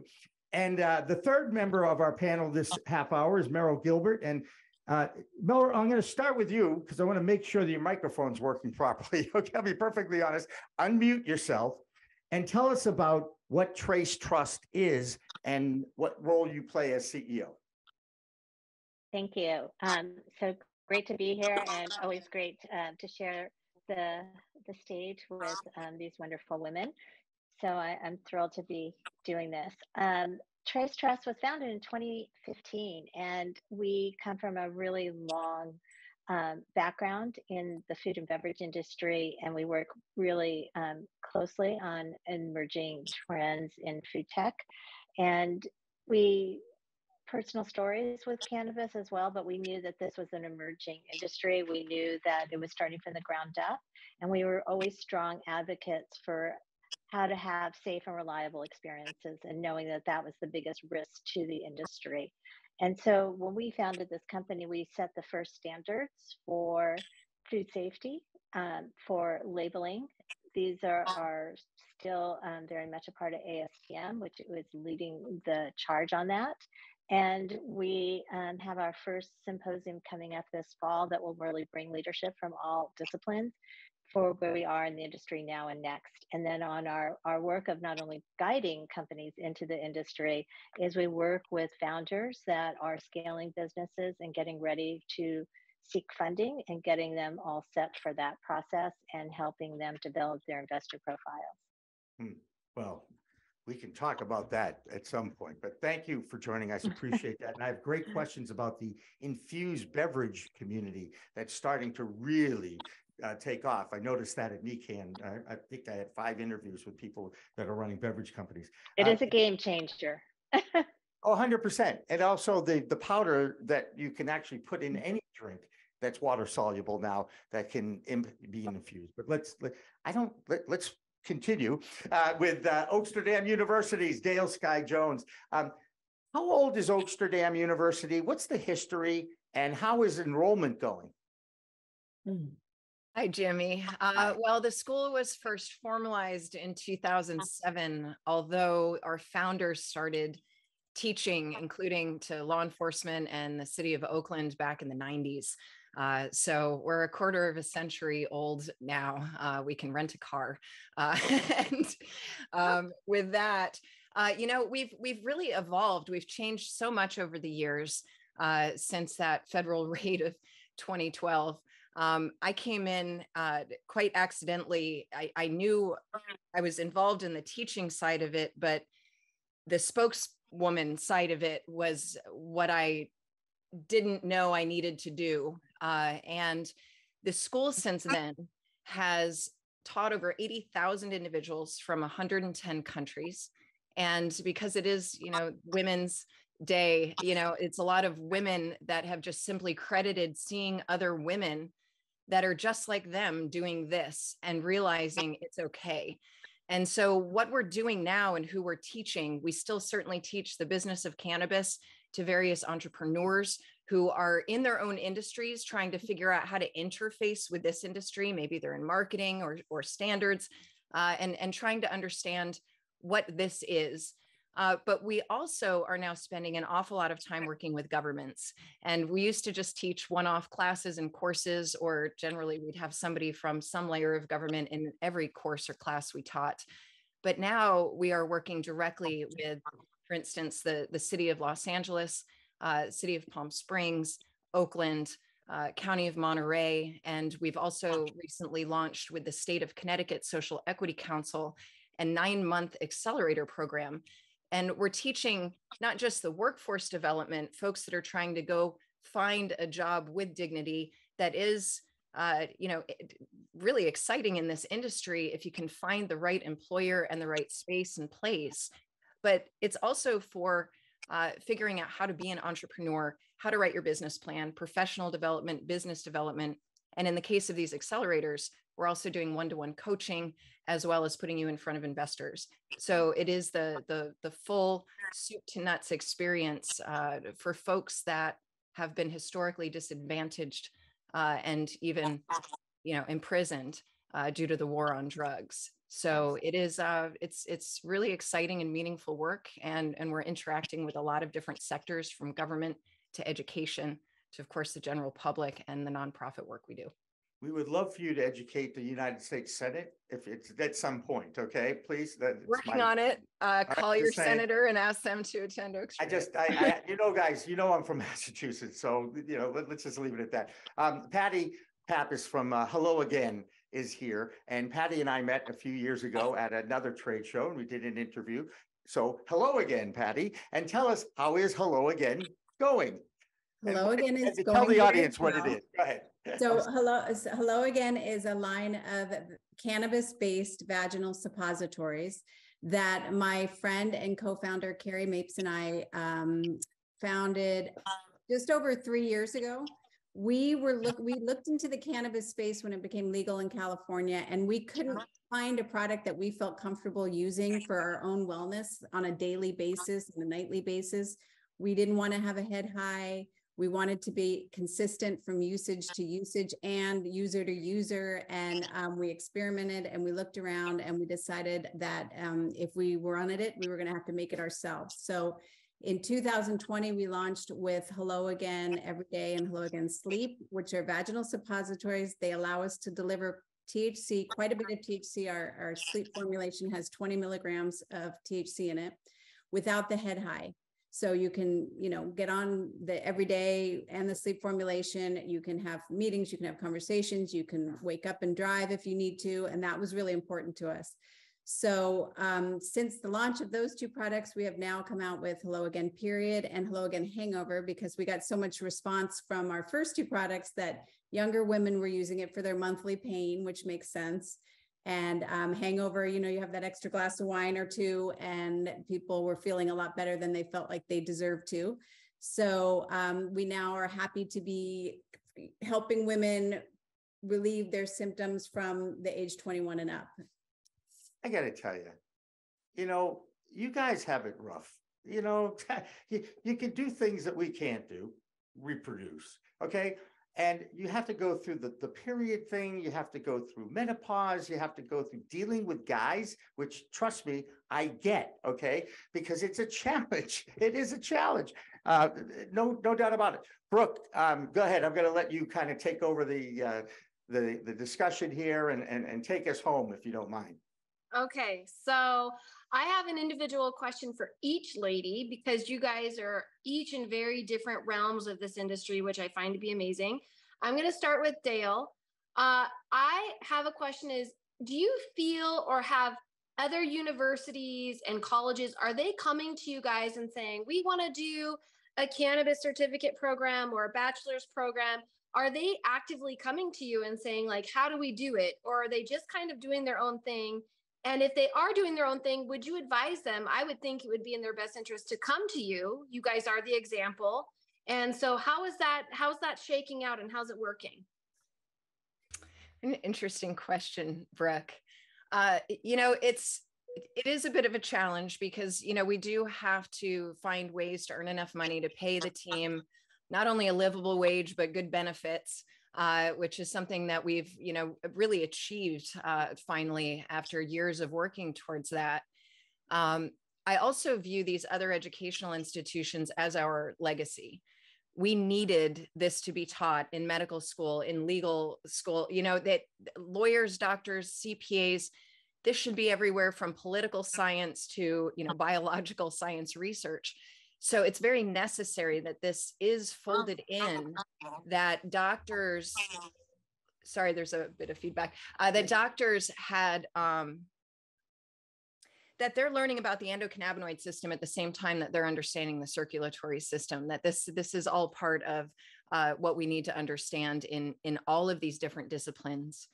That said there's still a very clear barrier for any university or college that accepts federal funds or who accepts students with federal funds in teaching this subject matter that breaks the Schedule One uh, laws that any laws around teaching about the schedule one drug. It's actually very specifically why we are not allowed to be a nonprofit. I operate as a not for profit but i have to pay taxes. I'm not allowed to be nonprofit. So it's that same barrier and it is a risk for any school or university to cross that line so they can speak in generalities but when you actually dive into the programs they're teaching they're not allowed to touch that that third rail that red line cannot be crossed and Mm. so, for those reasons, we have developed many different relationships over the years, and one in particular with Golden Gate University, where they're just recognizing our programs for credit because they know they can't teach what we teach. Uh, we're just starting to get into those relationships. What's really been happening for the last 15 years is we've had uh, everyone from from university and college professors all the way up through administrators coming and taking our courses and classes. Most of them shake my hand after tell me who they are and say wow that was so awesome. I can't wait to write your program in my and it's like wait a minute. Hold on here. Um, so there's there's no question at, at how many programs both pub- public private um, alike have have looked to Oaksterdam as you know as as their inspiration of of what they're teaching. Um, but you know we've worked really hard to stay at the cutting edge of this education and have a very strong feedback program both with workforce and and professional leaders who have to hire workforce um, you know they were all our graduates from back in the day who grew up and started large you know they grew their corporations and are now dealing with workforce. Um, it, it's it's important to to realize that that we're not just trusted that it, it's really important to understand what those learning outcomes need to be that are practical for the student. It's not just in name only that it's something that's going to improve their life that social equity is ultimately about health equity as much as wealth equity. And so making sure that what we say we're we're doing and what those students and graduates are walking away with whether it's a single one-off program or a full certification is is that they're able to take that into the world and do something meaningful with it. We don't just teach people what they want to know. We teach them what they didn't know they needed to know the what mm. not to do's. And that is what a lot of the other institutions are failing at. They're not setting they're they're trying to set people up for success which is fine but they're not preparing them for the worst and, and teaching them how to navigate in a very difficult, tricky, sticky industry where the law is not settled yet, banking is not safe, the IRS still comes after you. It's just there's so many risks, and people are like, "Oh, let me just teach you how to make money." And it's like just, just buyer beware on on those types of courses. Anyone will sell you what you want to know, but are they teaching you what you need to know? And and for that reason, we still invite it. Yeah. I love Adapted. that. That's Go ahead. strong. Go ahead. Go Oh ahead. yeah, no, that's amazing. Um, my next question's for Patty, and I, you know, I got to meet your co-founder Carrie last year in Las Vegas. I think it's amazing what you guys have developed as a product, especially for women. As Jimmy said, we go through all these transitions. How do you guys get your product in how into the dispensaries, and how many dispensaries or cannabis shops, I guess you could say, are you guys currently in right now? Because your product is definitely one that's needed. Yeah, we are currently in, I think we're almost 100 dispensaries throughout the state of California, which we're super proud of. Uh, we also can now deliver through our website. That was a big, um, big, big thing because a lot of the customers we felt when we started were like us and they didn't necessarily always feel comfortable going into the dispensary. So to be able to order from your home and have it delivered to you um, was important to us. So it was a struggle getting on those shelves, especially in the beginning, because one, we were talking about menopause to 25 year old buyers, male buyers. So we had to explain to them, you know, oh, this is menopause. These are the symptoms. You can't sleep through the night. You're tired. You're sweating. You have night sweats. And usually we'd have sort of this kind of dazed expression on their face. And oftentimes days later they would call back and they'd say you know i talked to my mom or i talked to my sister and it's actually a really good idea what you guys are doing we're like oh thank you no we think so but um it was slow going we knew it was going to be slow organic growth with people trying the product and knowing that it made them feel better. It's getting a lot easier now because the wellness space shelves in dispensaries are getting bigger and bigger. You know, before they would be literally like this big, six inches, so they wouldn't carry a lot of different brands. But that's been changing. So we're feeling more and more optimistic about getting into more and more stores and um, being able to bring wellness and cannabis as a source of wellness to more and more women in California. That's great. Man, do men love you? That's all I can say, Patty. Okay. right. I mean, it, it and, and, as a male with, I'm 60 freaking five years old. I got my own issues. All right. That being, that being said, you have to empathize with your partner who's going through all this. And I always say there must be something to help. There must be something to help. There must be something. Thankfully, you've you've delivered something that will make everybody happy on that part. Um, go ahead, Brooke. I, I jumped in because I can't. Yeah. No, you're good. Merril, my last question goes to you. And I love that you're on the packaging, the the the packaging labeling side. Um, my mom and stepdad were both in food and beverage. For my stepdad was in for like 50 years and then my mom was in for 20 years.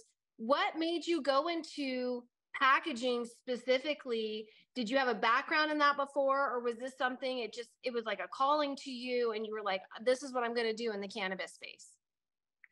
So it's really that we're not in packaging overall, right? It is really about all safe and regulated products. And so that's where this really came from. It's it's our experience in food safety, in HACCP training, in GMP certifications, in scaling. You know, my my business partner comes from the ag side, and we both come from food manufacturing. We come from the hospitality. It's like if you want to grow something, put it in a box, put it on a shelf, put it in a plate.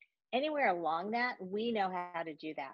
And so, really, what started um, initially we were just going to make beautiful plant-based edibles right? We knew that we could scale that state to state. We knew how you know to formulate. We knew how to you know until we have nationwide legal access we knew how to mirror um, but if you think back 2015 2016 we did not even have the nanotechnologies that that jimmy was talking about earlier um, that we have today right? And so those first clear concentrates those first clear extracts that were being used you know, it was a thousand to one. Like if you didn't have the knowledge and understanding on how that actually interacts, that if you didn't understand that it's very different um, in your system, a, a baked good, as we all know, because everybody has the brownie story, right, that they always refer to. Oh, well, because that's a four to six hours sometimes, as opposed to a tincture under the tongue you know 15 20 minutes. We have sublinguals now. We have the suppositories. We have so much right? And so we knew that that was a very big thing. And that's why we wrote those initial standards on product safety that takes into the full life cycle of a product. Right now all regulatory testing still focuses on the initial plant materials and potencies of THC and CBD and not all the other cannabinoids. It still doesn't look at that. And our biggest struggle, what has suffered so much, particularly here in California, is that we value THC levels of potency above quality, above the overall where is that coming from? We don't treat it in, and we will get there. We're, we're headed in that, you know, as soon as we can do that. But, you know, we need to build out the appellation quality in the same way that we have in the wine industry, right? You can't call something champagne unless those grapes are actually grown in Champagne, France. right? Napa Valley wine. If you put Napa Valley wine, it has to be grown in the county of Napa Valley. It can't be from someplace else. So our our legacy growers, our farmers, our genetics, you know, we are we're just going through this. So so again, our our big leadership push, our our reasons that we exist and, and fight so hard of bringing all other industries into this is we have to be treated like all other industries. To to Dale, who has been, you know, so carrying the torch for all of us to be able to do this. But you know, where we take on is we have to be treated by insurance companies. We have to be treated by banking. We have to be treated like other manufacturing. It's not this, you know, one off. It is an ingredient and has the same, you know, capabilities and liabilities as anything else. So that is what our stand is. And so those standards are what we push for is so that when you look at a label, you understand what you're getting. You can read the label for one thing and you know how to use and administrate that and that you can back up all the way through where that came from right? So a see it, you know, we we did this whole series on YouTube about um, good label, bad label, and you know, one of them is QR codes to nowhere. What the hell is that about? Like, or this, like this, do not touch this, right? This is not. We don't know where this came from, and so why do you see all this, you know, pushback on some of these other products? It's all in states that don't have any form of legal access and they are literally yes it might be the original plant materials but they are taking it and adulterating it in unsafe methods. And that's going to hurt us because to all of us we want people to have this wonderful access to beverages. Beverages are equalizer right? It's something that we can do. It's something that i can and they can provide that experience of destigmatization but they can also we are trying to fit the needs of what you want. There is truly people that just want to get high old school. That's what they care about. But the rest of us might just want something to relax. I want something that you know if my young children are in the room i'm not you know passed out on the couch right? We want to have these need states. That is the future experiential. Where is that experience?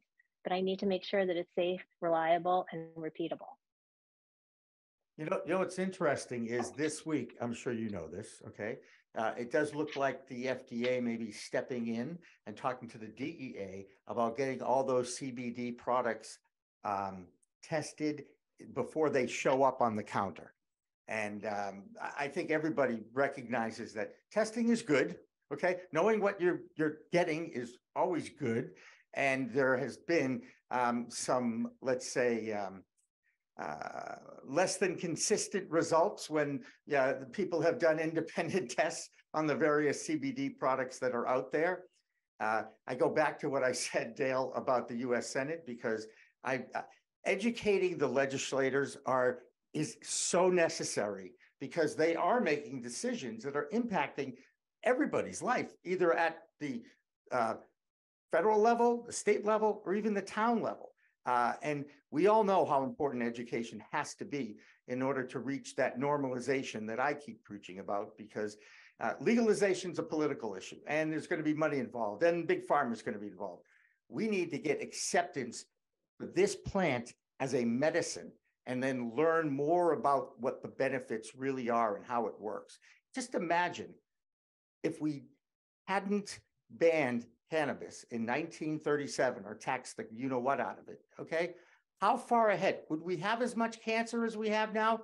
No, we wouldn't. Would we have as much autism as we have now? Uh, no, we wouldn't. So we're really just starting over again in, in 2023. And it's going to take people like the women in this room, the women that are in this industry that are going to understand this we're in it for the long haul. It, it, now that it's been legalized in 21 states and there's a race to become 22, uh, it's here to stay. So um, first of all, I, we are up against the the clock, and I, I, always like to hit my my my deadlines at the at the right moment. So I do want to thank Brooke for being a great guest host. And as I said, Brooke, you know, I heard talk about a women only talk show over the last two hours. I certainly would, would, be loving to distribute something like that on a monthly basis or however many times you want to do something like this because conversation and education is how we're going to make the most change. And um, Lord knows I like to think of myself as a teacher uh, and a coach more than a um, whatever I am, businessman, sportscaster, ex-sportscaster, whatever. I, I, really love sharing the experiences I've had in my life with others uh, to mentor them or, or impact their lives. That, that's what I'm all about. So uh, now that I've filled right up until the top of the hour, I want to thank Brooke I want to thank Dale, and I definitely want to thank hello again, Patty and Merril. Uh, and Merril, I, I want to talk to you eventually. We're going to do a beverage show, and I'm going to bring you back on so we can talk about that because I had, like I said, five interviews with new companies getting into the beverage space at NECANN um, just two weeks ago. So it, it there's a future here. Um, that's going to wrap it up for another edition of a Green Rush Live, the really live business of cannabis talk show that we run here every Friday afternoon at 4 p.m. Eastern on the Pro Cannabis Media Network, our Roku channel, our Apple channel, our own home homepage of our website, and of course on all the other social media outlets that are out there. And as the dog said in the background, it is definitely time to start my weekend and move on. So thank you all. Remember, it's a whole new world of weed out there, people. Use it responsibly. Thanks for watching. Thanks for listening.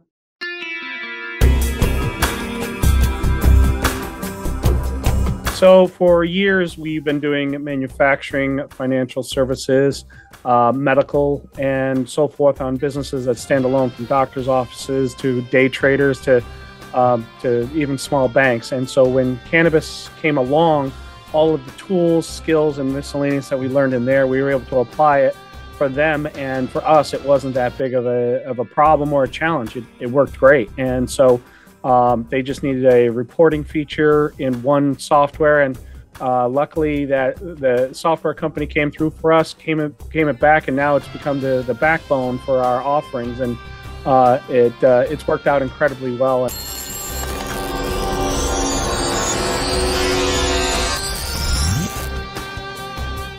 Coming up on Weed Talk News this week, more rumblings out of the U.S. Senate about safe banking for cannabis. The chair of the banking committee says we need to pass safe banking this year. In the meantime, in Santa Cruz, California, thieves stole over a half million dollars worth of the green gold. And don't put all those marketing dollars into Twitter just yet.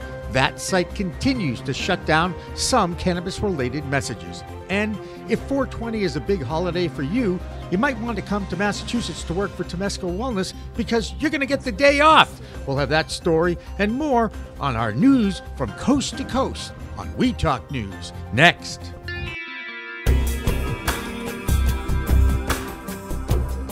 So, for years, we've been doing manufacturing, financial services, uh, medical, and so forth on businesses that stand alone, from doctors' offices to day traders to um, to even small banks. And so, when cannabis came along, all of the tools, skills, and miscellaneous that we learned in there, we were able to apply it for them. And for us, it wasn't that big of a, of a problem or a challenge. It, it worked great. And so, um, they just needed a reporting feature in one software, and uh, luckily that the software company came through for us, came it came it back, and now it's become the the backbone for our offerings, and uh, it uh, it's worked out incredibly well.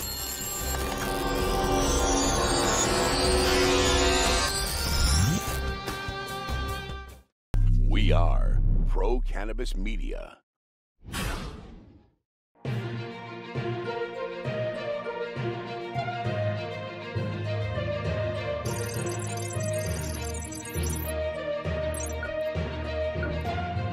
Hi, everyone. Welcome to this week's edition of Weed Talk News. I'm Jimmy Young, the founder of Pro Cannabis Media, filling in for the vacationing Elena Pinto, who will be back next week. Our top story this week is a toss up. Do we talk about a huge robbery of a cannabis grow house in California or the hope about banking reform at the federal level? Shocking or hopeful? I always go with the hopeful thing. So we start in Washington, D.C., where the Senate Banking Committee chair says we need to pass safe banking this year. Now, if you're keeping score at home, yes, safe banking has passed the House seven times in the last few years, but it's the Senate where that effort ends. Now, there just might be some hope. Safe banking is all about public safety. And since that industry is forced to be a cash retail market because of its federal classification as a Schedule One drug, but while cash is still king in the legal business, the asset is still the plant. In Santa Cruz, California, there were two robberies of grow facilities in that town near San Francisco within two days. Now, if you ever have visited a grow facility, you know there are fences, video surveillance, and usually around the clock security force on the site. It still didn't stop heavily masked men with weapons from invading the facility in the wee hours of the morning last week. It took just 15 minutes for those organized invasions to get away with over a half million dollars worth of product, flower. All that weed is probably headed to the legacy market, which continues to be thriving in the early years of legalization. Some states are starting to go after the criminals who are targeting legal stores for cash robberies, and that's certainly true in Michigan, where their attorney general issued 12 warrants for the 20 robberies in that legal state. Here's the state's executive director for NORML, Rick Thompson, with more. Hello again. This is the Michigan Report with Rick Thompson on Weed Talk News. Let's begin. Michigan's Attorney General has issued warrants for the arrests of a dozen people believed to be responsible for 20 or more break ins at cannabis retail locations in May of 2022. She's charging the dozen with some combination of safe breaking, which is a life felony, criminal enterprise, a 20 year felony, and breaking and entering into a building with intent, which is a 10 year felony. The AG took this opportunity to push the United States Congress to enact cannabis law reforms like the Safe Banking Act. She said, quote, without access to traditional banking, the cannabis industry is left as a ripe target for criminals. Any legal businesses should have fair access to our banking institutions for the security of their own business and employees, as well as public safety. Michigan has experienced an unprecedented wave of robberies in cannabis retail shops during the last 12 months, and Congress has failed to pass banking reform for the cannabis industry for years. Well, last week I told you that cannabis retail prices in Michigan were rising and the number of cannabis plants being grown in the regulated market was lower. A recent article from Crain's Detroit Business Magazine examined the possible reasons for this. Enforcement action has scared some of the players who illegally supplement their inventory with unregulated cannabis. And the low cost of distillate oil means it's cheaper to buy it than to produce it in Michigan, resulting in fewer plants being grown. And the big guys are only growing what they need, which benefits the little guy, according to the experts cited in the article. The plant count today in the regulated market down more than 20% since September, per the article. And in a tough market, fewer plants directly translates into lower cost of operations. Well, you can add another name to the list of Michigan cannabis companies which have been placed in court ordered receivership.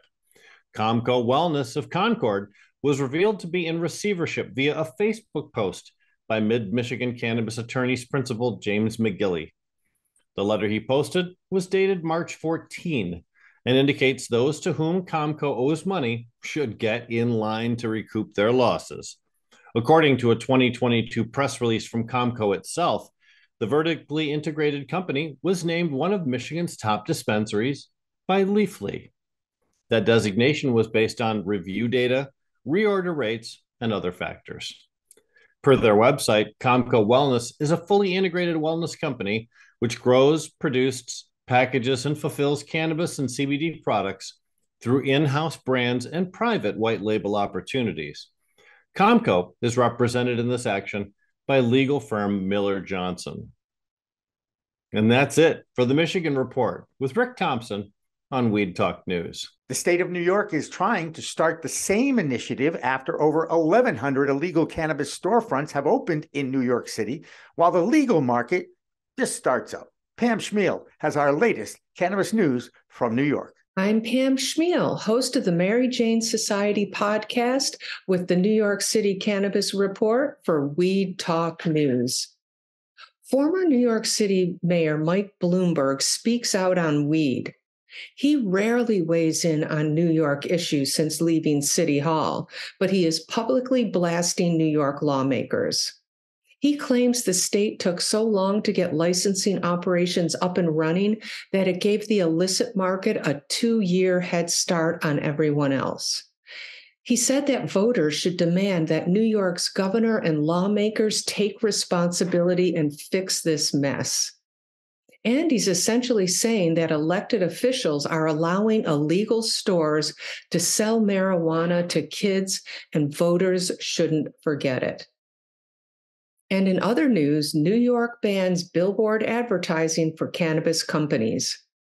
Advocates think it's unfair to prohibit weed companies from using the same marketing tactics that other regulated industry use, such as alcohol. And no surprise, a deadly blaze in a Bronx apartment fire is likely caused by cannabis grow lamps. Investigators have determined that the blaze was caused by electric heating lamp used to grow six marijuana plants. And the fire chief is reprimanding the Office of Cannabis Management, saying, We have seen before how dangerous these high powered devices can be. And without regulations or guidelines to protect the public, people are unnecessarily being placed at risk. Marijuana laws need to be fixed, and the community demands it. And lastly, New York Governor Kathy Hochul has thrown her support behind civil fines for up to $10,000 a day for unlicensed commercial cannabis activity in an attempt to crack down on the state's thriving illicit market. That's this week's New York City Cannabis Report. I'm Pam Schmiel from the Mary Jane Society podcast, reporting for Weed Talk News. Next up, the Massachusetts Cannabis Report, sponsored by Holyoke Cannabis. Well, another week in Massachusetts, and yes, another new cannabis dispensary has opened in the town of Grafton. Discerned is the name, and Alan Villatoro is the CEO. They are located right on Route 122, and the definition of the word discerned is to perceive with the eyes, detect, or distinguish. Standing out from other licensed dispensaries is a real challenge for the over 300 stores now open in the Bay State. But Allen's location and dedication should distinguish this store and make it a dispensary destination. I, I just wanted to, you know, I guess establish some presence in the market to demonstrate that I'm not going to be just another cannabis, another, you know, pot store. Um, we're a full service cannabis company brand, really. And professionalism and legitimacy are at the top of, of what I want to accomplish. And this is why, you know, I still, I don't dress up like this anymore unless, you know, I, I have to meet with certain people that aren't familiar in that sense. And I do always try to promote the brand, but professionalism and legitimacy is where I come from in banking and, and this industry, I feel like sometimes lacks it and it gets thrown under the, the stigma. And I just, I, that's not going to help us move this forward, you know? And uh, so uh, my thought on it was, I drill it at the team, and they're like, no, we we you know they they get it now, you know. Um, so it's legitimacy and professionalism is what I'm looking for. One more note from the Bay State: employees at the medical dispensary chain Temescal Wellness are going to get a day off on April 20th. That's right, one of the busiest days of the year, and this dispensary will be closed. That's so that their employees in the stores, their growing and manufacturing facilities, and in the corporate office will all be able to enjoy the annual cannabis holiday by not working. Bay State Cannabis Report is supported by Holyoke Cannabis, Holyoke's finest cannabis recreational experience.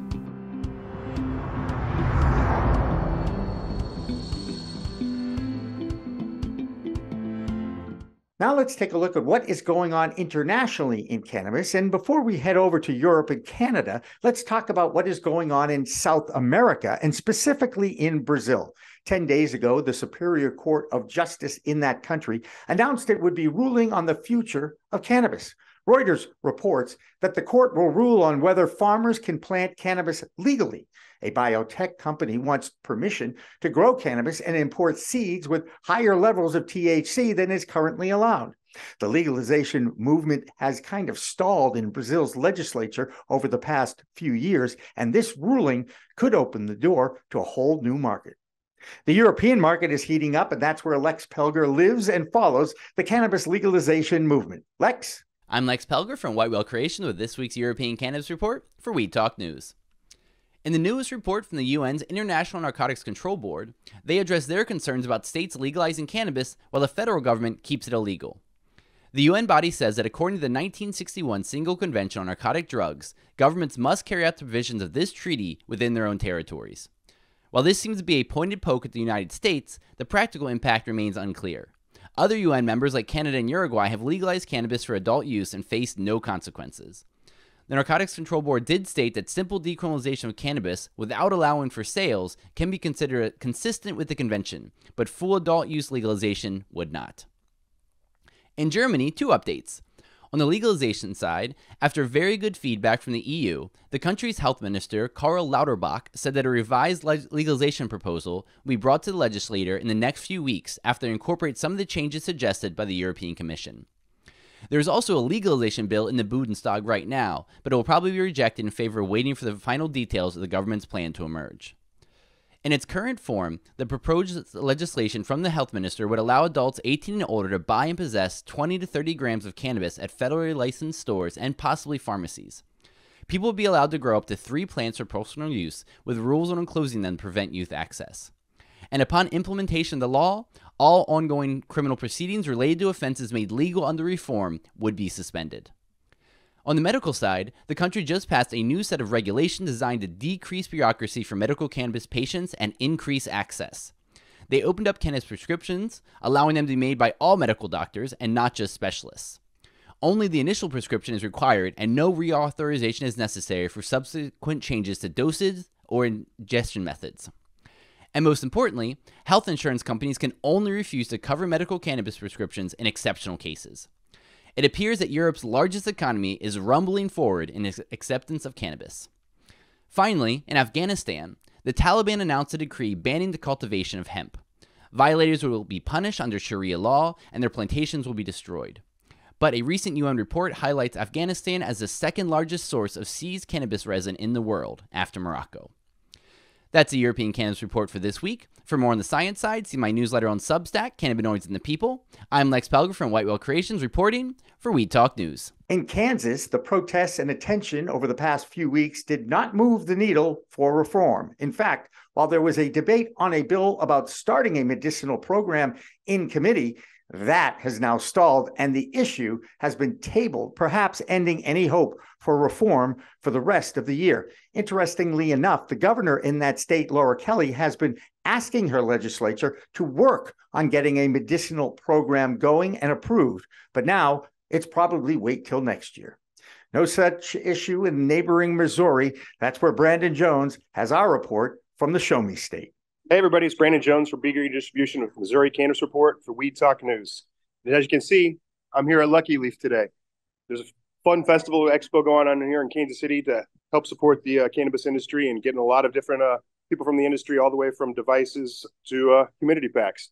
So come out to Kansas City at Sheraton at Crown Center if you can come out here and support the cannabis industry and come out and check out Lucky Leaf. Uh, but also, like we talked about, Missouri sales has gone crazy over here. The first month reached over 100 million in sales. We, as we noticed, a lot of people from out of state are also coming in to get take part of the recreational aspect, and they don't have to have you know that in their state. Where seven of the uh, bordering states do not allow recreational marijuana in their state, so we're seeing a lot of uh, people crossing the border. Just be safe when you're traveling back, I ask, or probably maybe maybe people are actually consuming here in Missouri.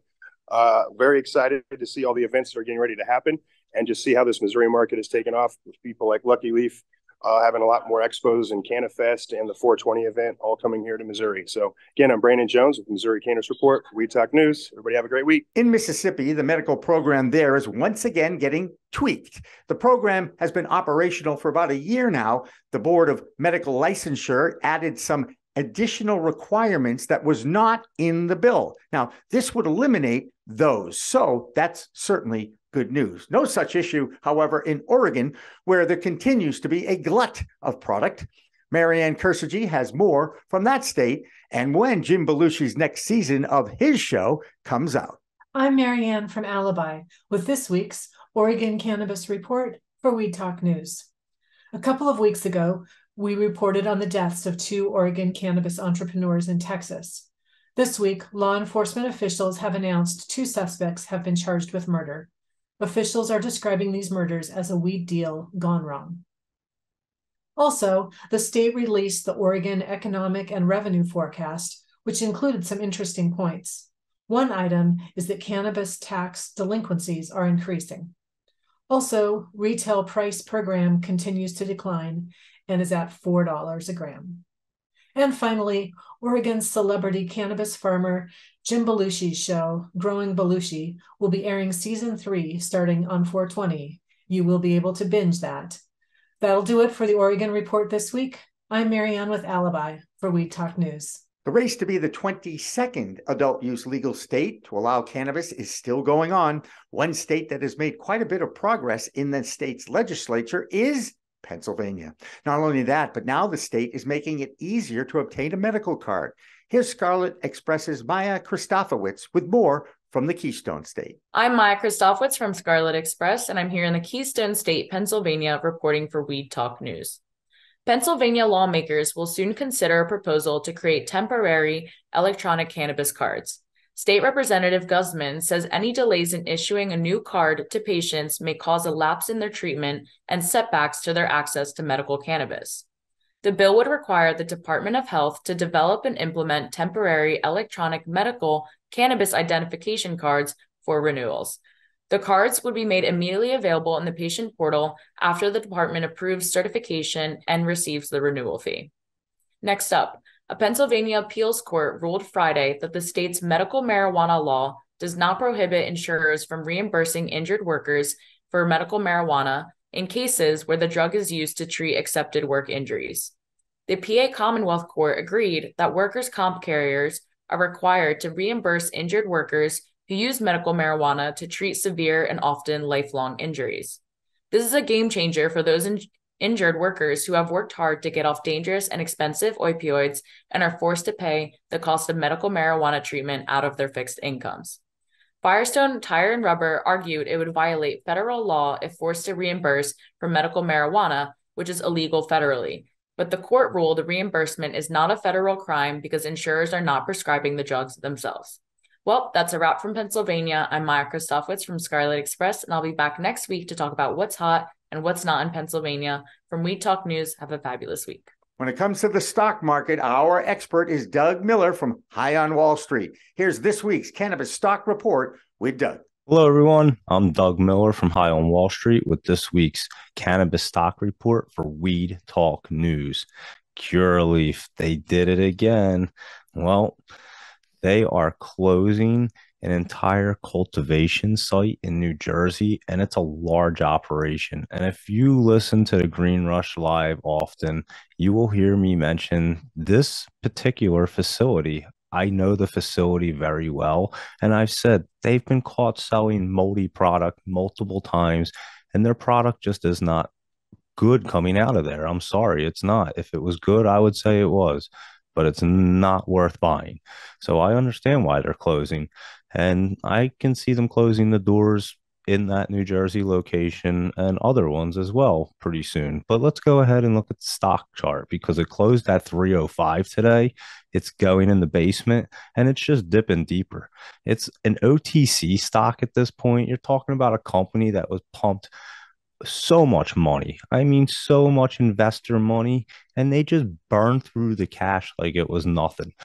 The companies run terribly. They don't know what they're doing in the cannabis industry, and uh, it shows because they're going to be out of business real soon. So, Curaleaf, you should get your stuff together. You had to close down in the top three markets Colorado, Oregon, and California. I mean, come on. Now you're closing this huge facility and you're going to be closing your doors at many others. So it's dipping down. I'm not touching it.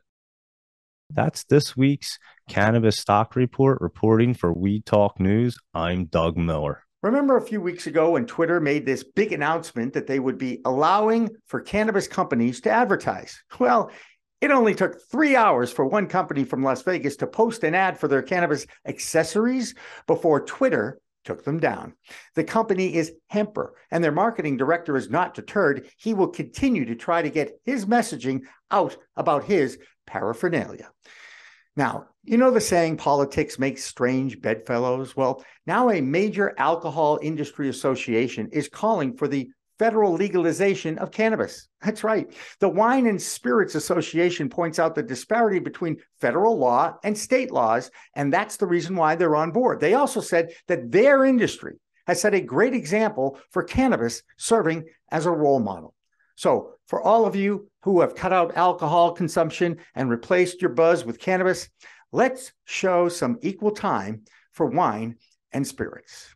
That's this week's Weed Talk News. I'm the founder of Pro Cannabis Media, Jimmy Young. Elena Pinto We'll be back next week. But remember, it's a whole new world of weed out there. Use it responsibly.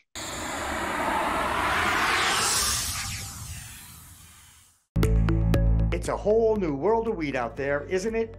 Everyone is learning new ways to titrate, ingest, consume, imbibe, and engage with this plant medicine we call cannabis.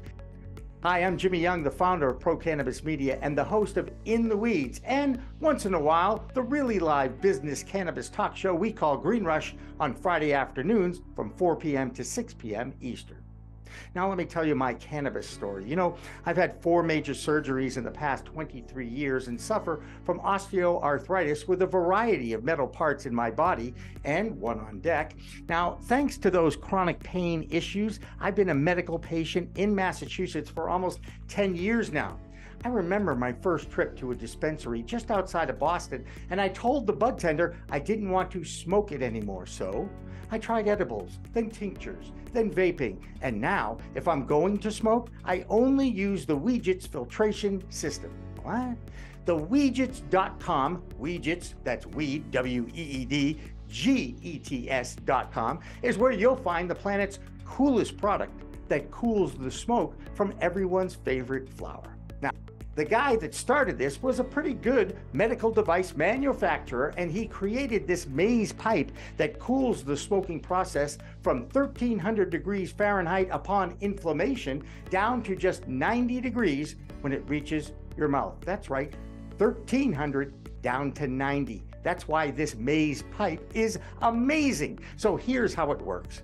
You start with that glass bowl, you flame on, and then you inhale nice and smooth so the smoke goes through three different filtration and cooling systems. Now, if pre rolls is your thing, you can use the Weedgets filter that a pre roll fits into perfectly. That's right, or even a chillum.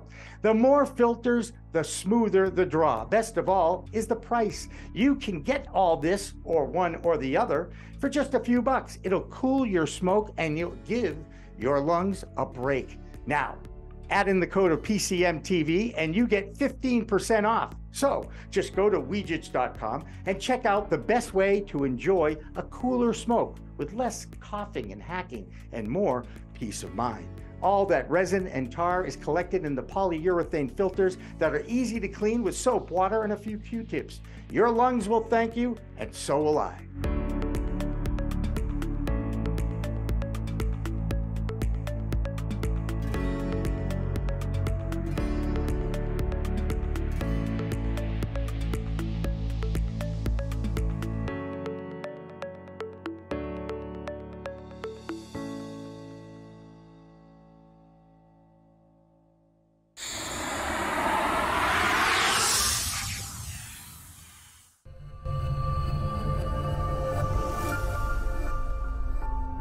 As a broker, we have access to many, many cannabis carriers. So I will go in with two or three uh, quotes for people.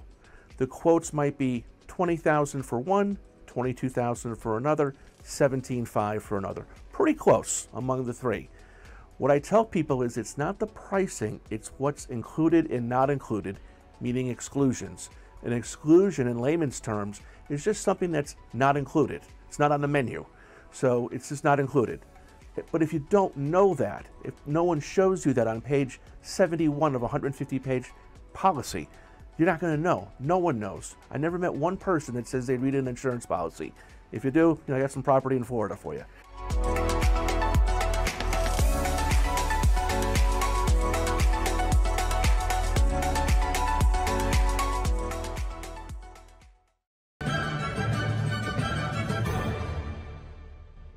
Talk and In the Weeds are two productions of Pro Cannabis Media supported by Revolutionary Clinics, one of the top medical cannabis dispensaries in the Massachusetts area, now with three locations in Greater Boston, two in Cambridge, and one on Broadway in Somerville. Rev Clinics has a patient first mission. They will customize your needs as a medical patient with the proper titration and combination of strains, flavors, and products. Rev Clinics, where the patient comes first.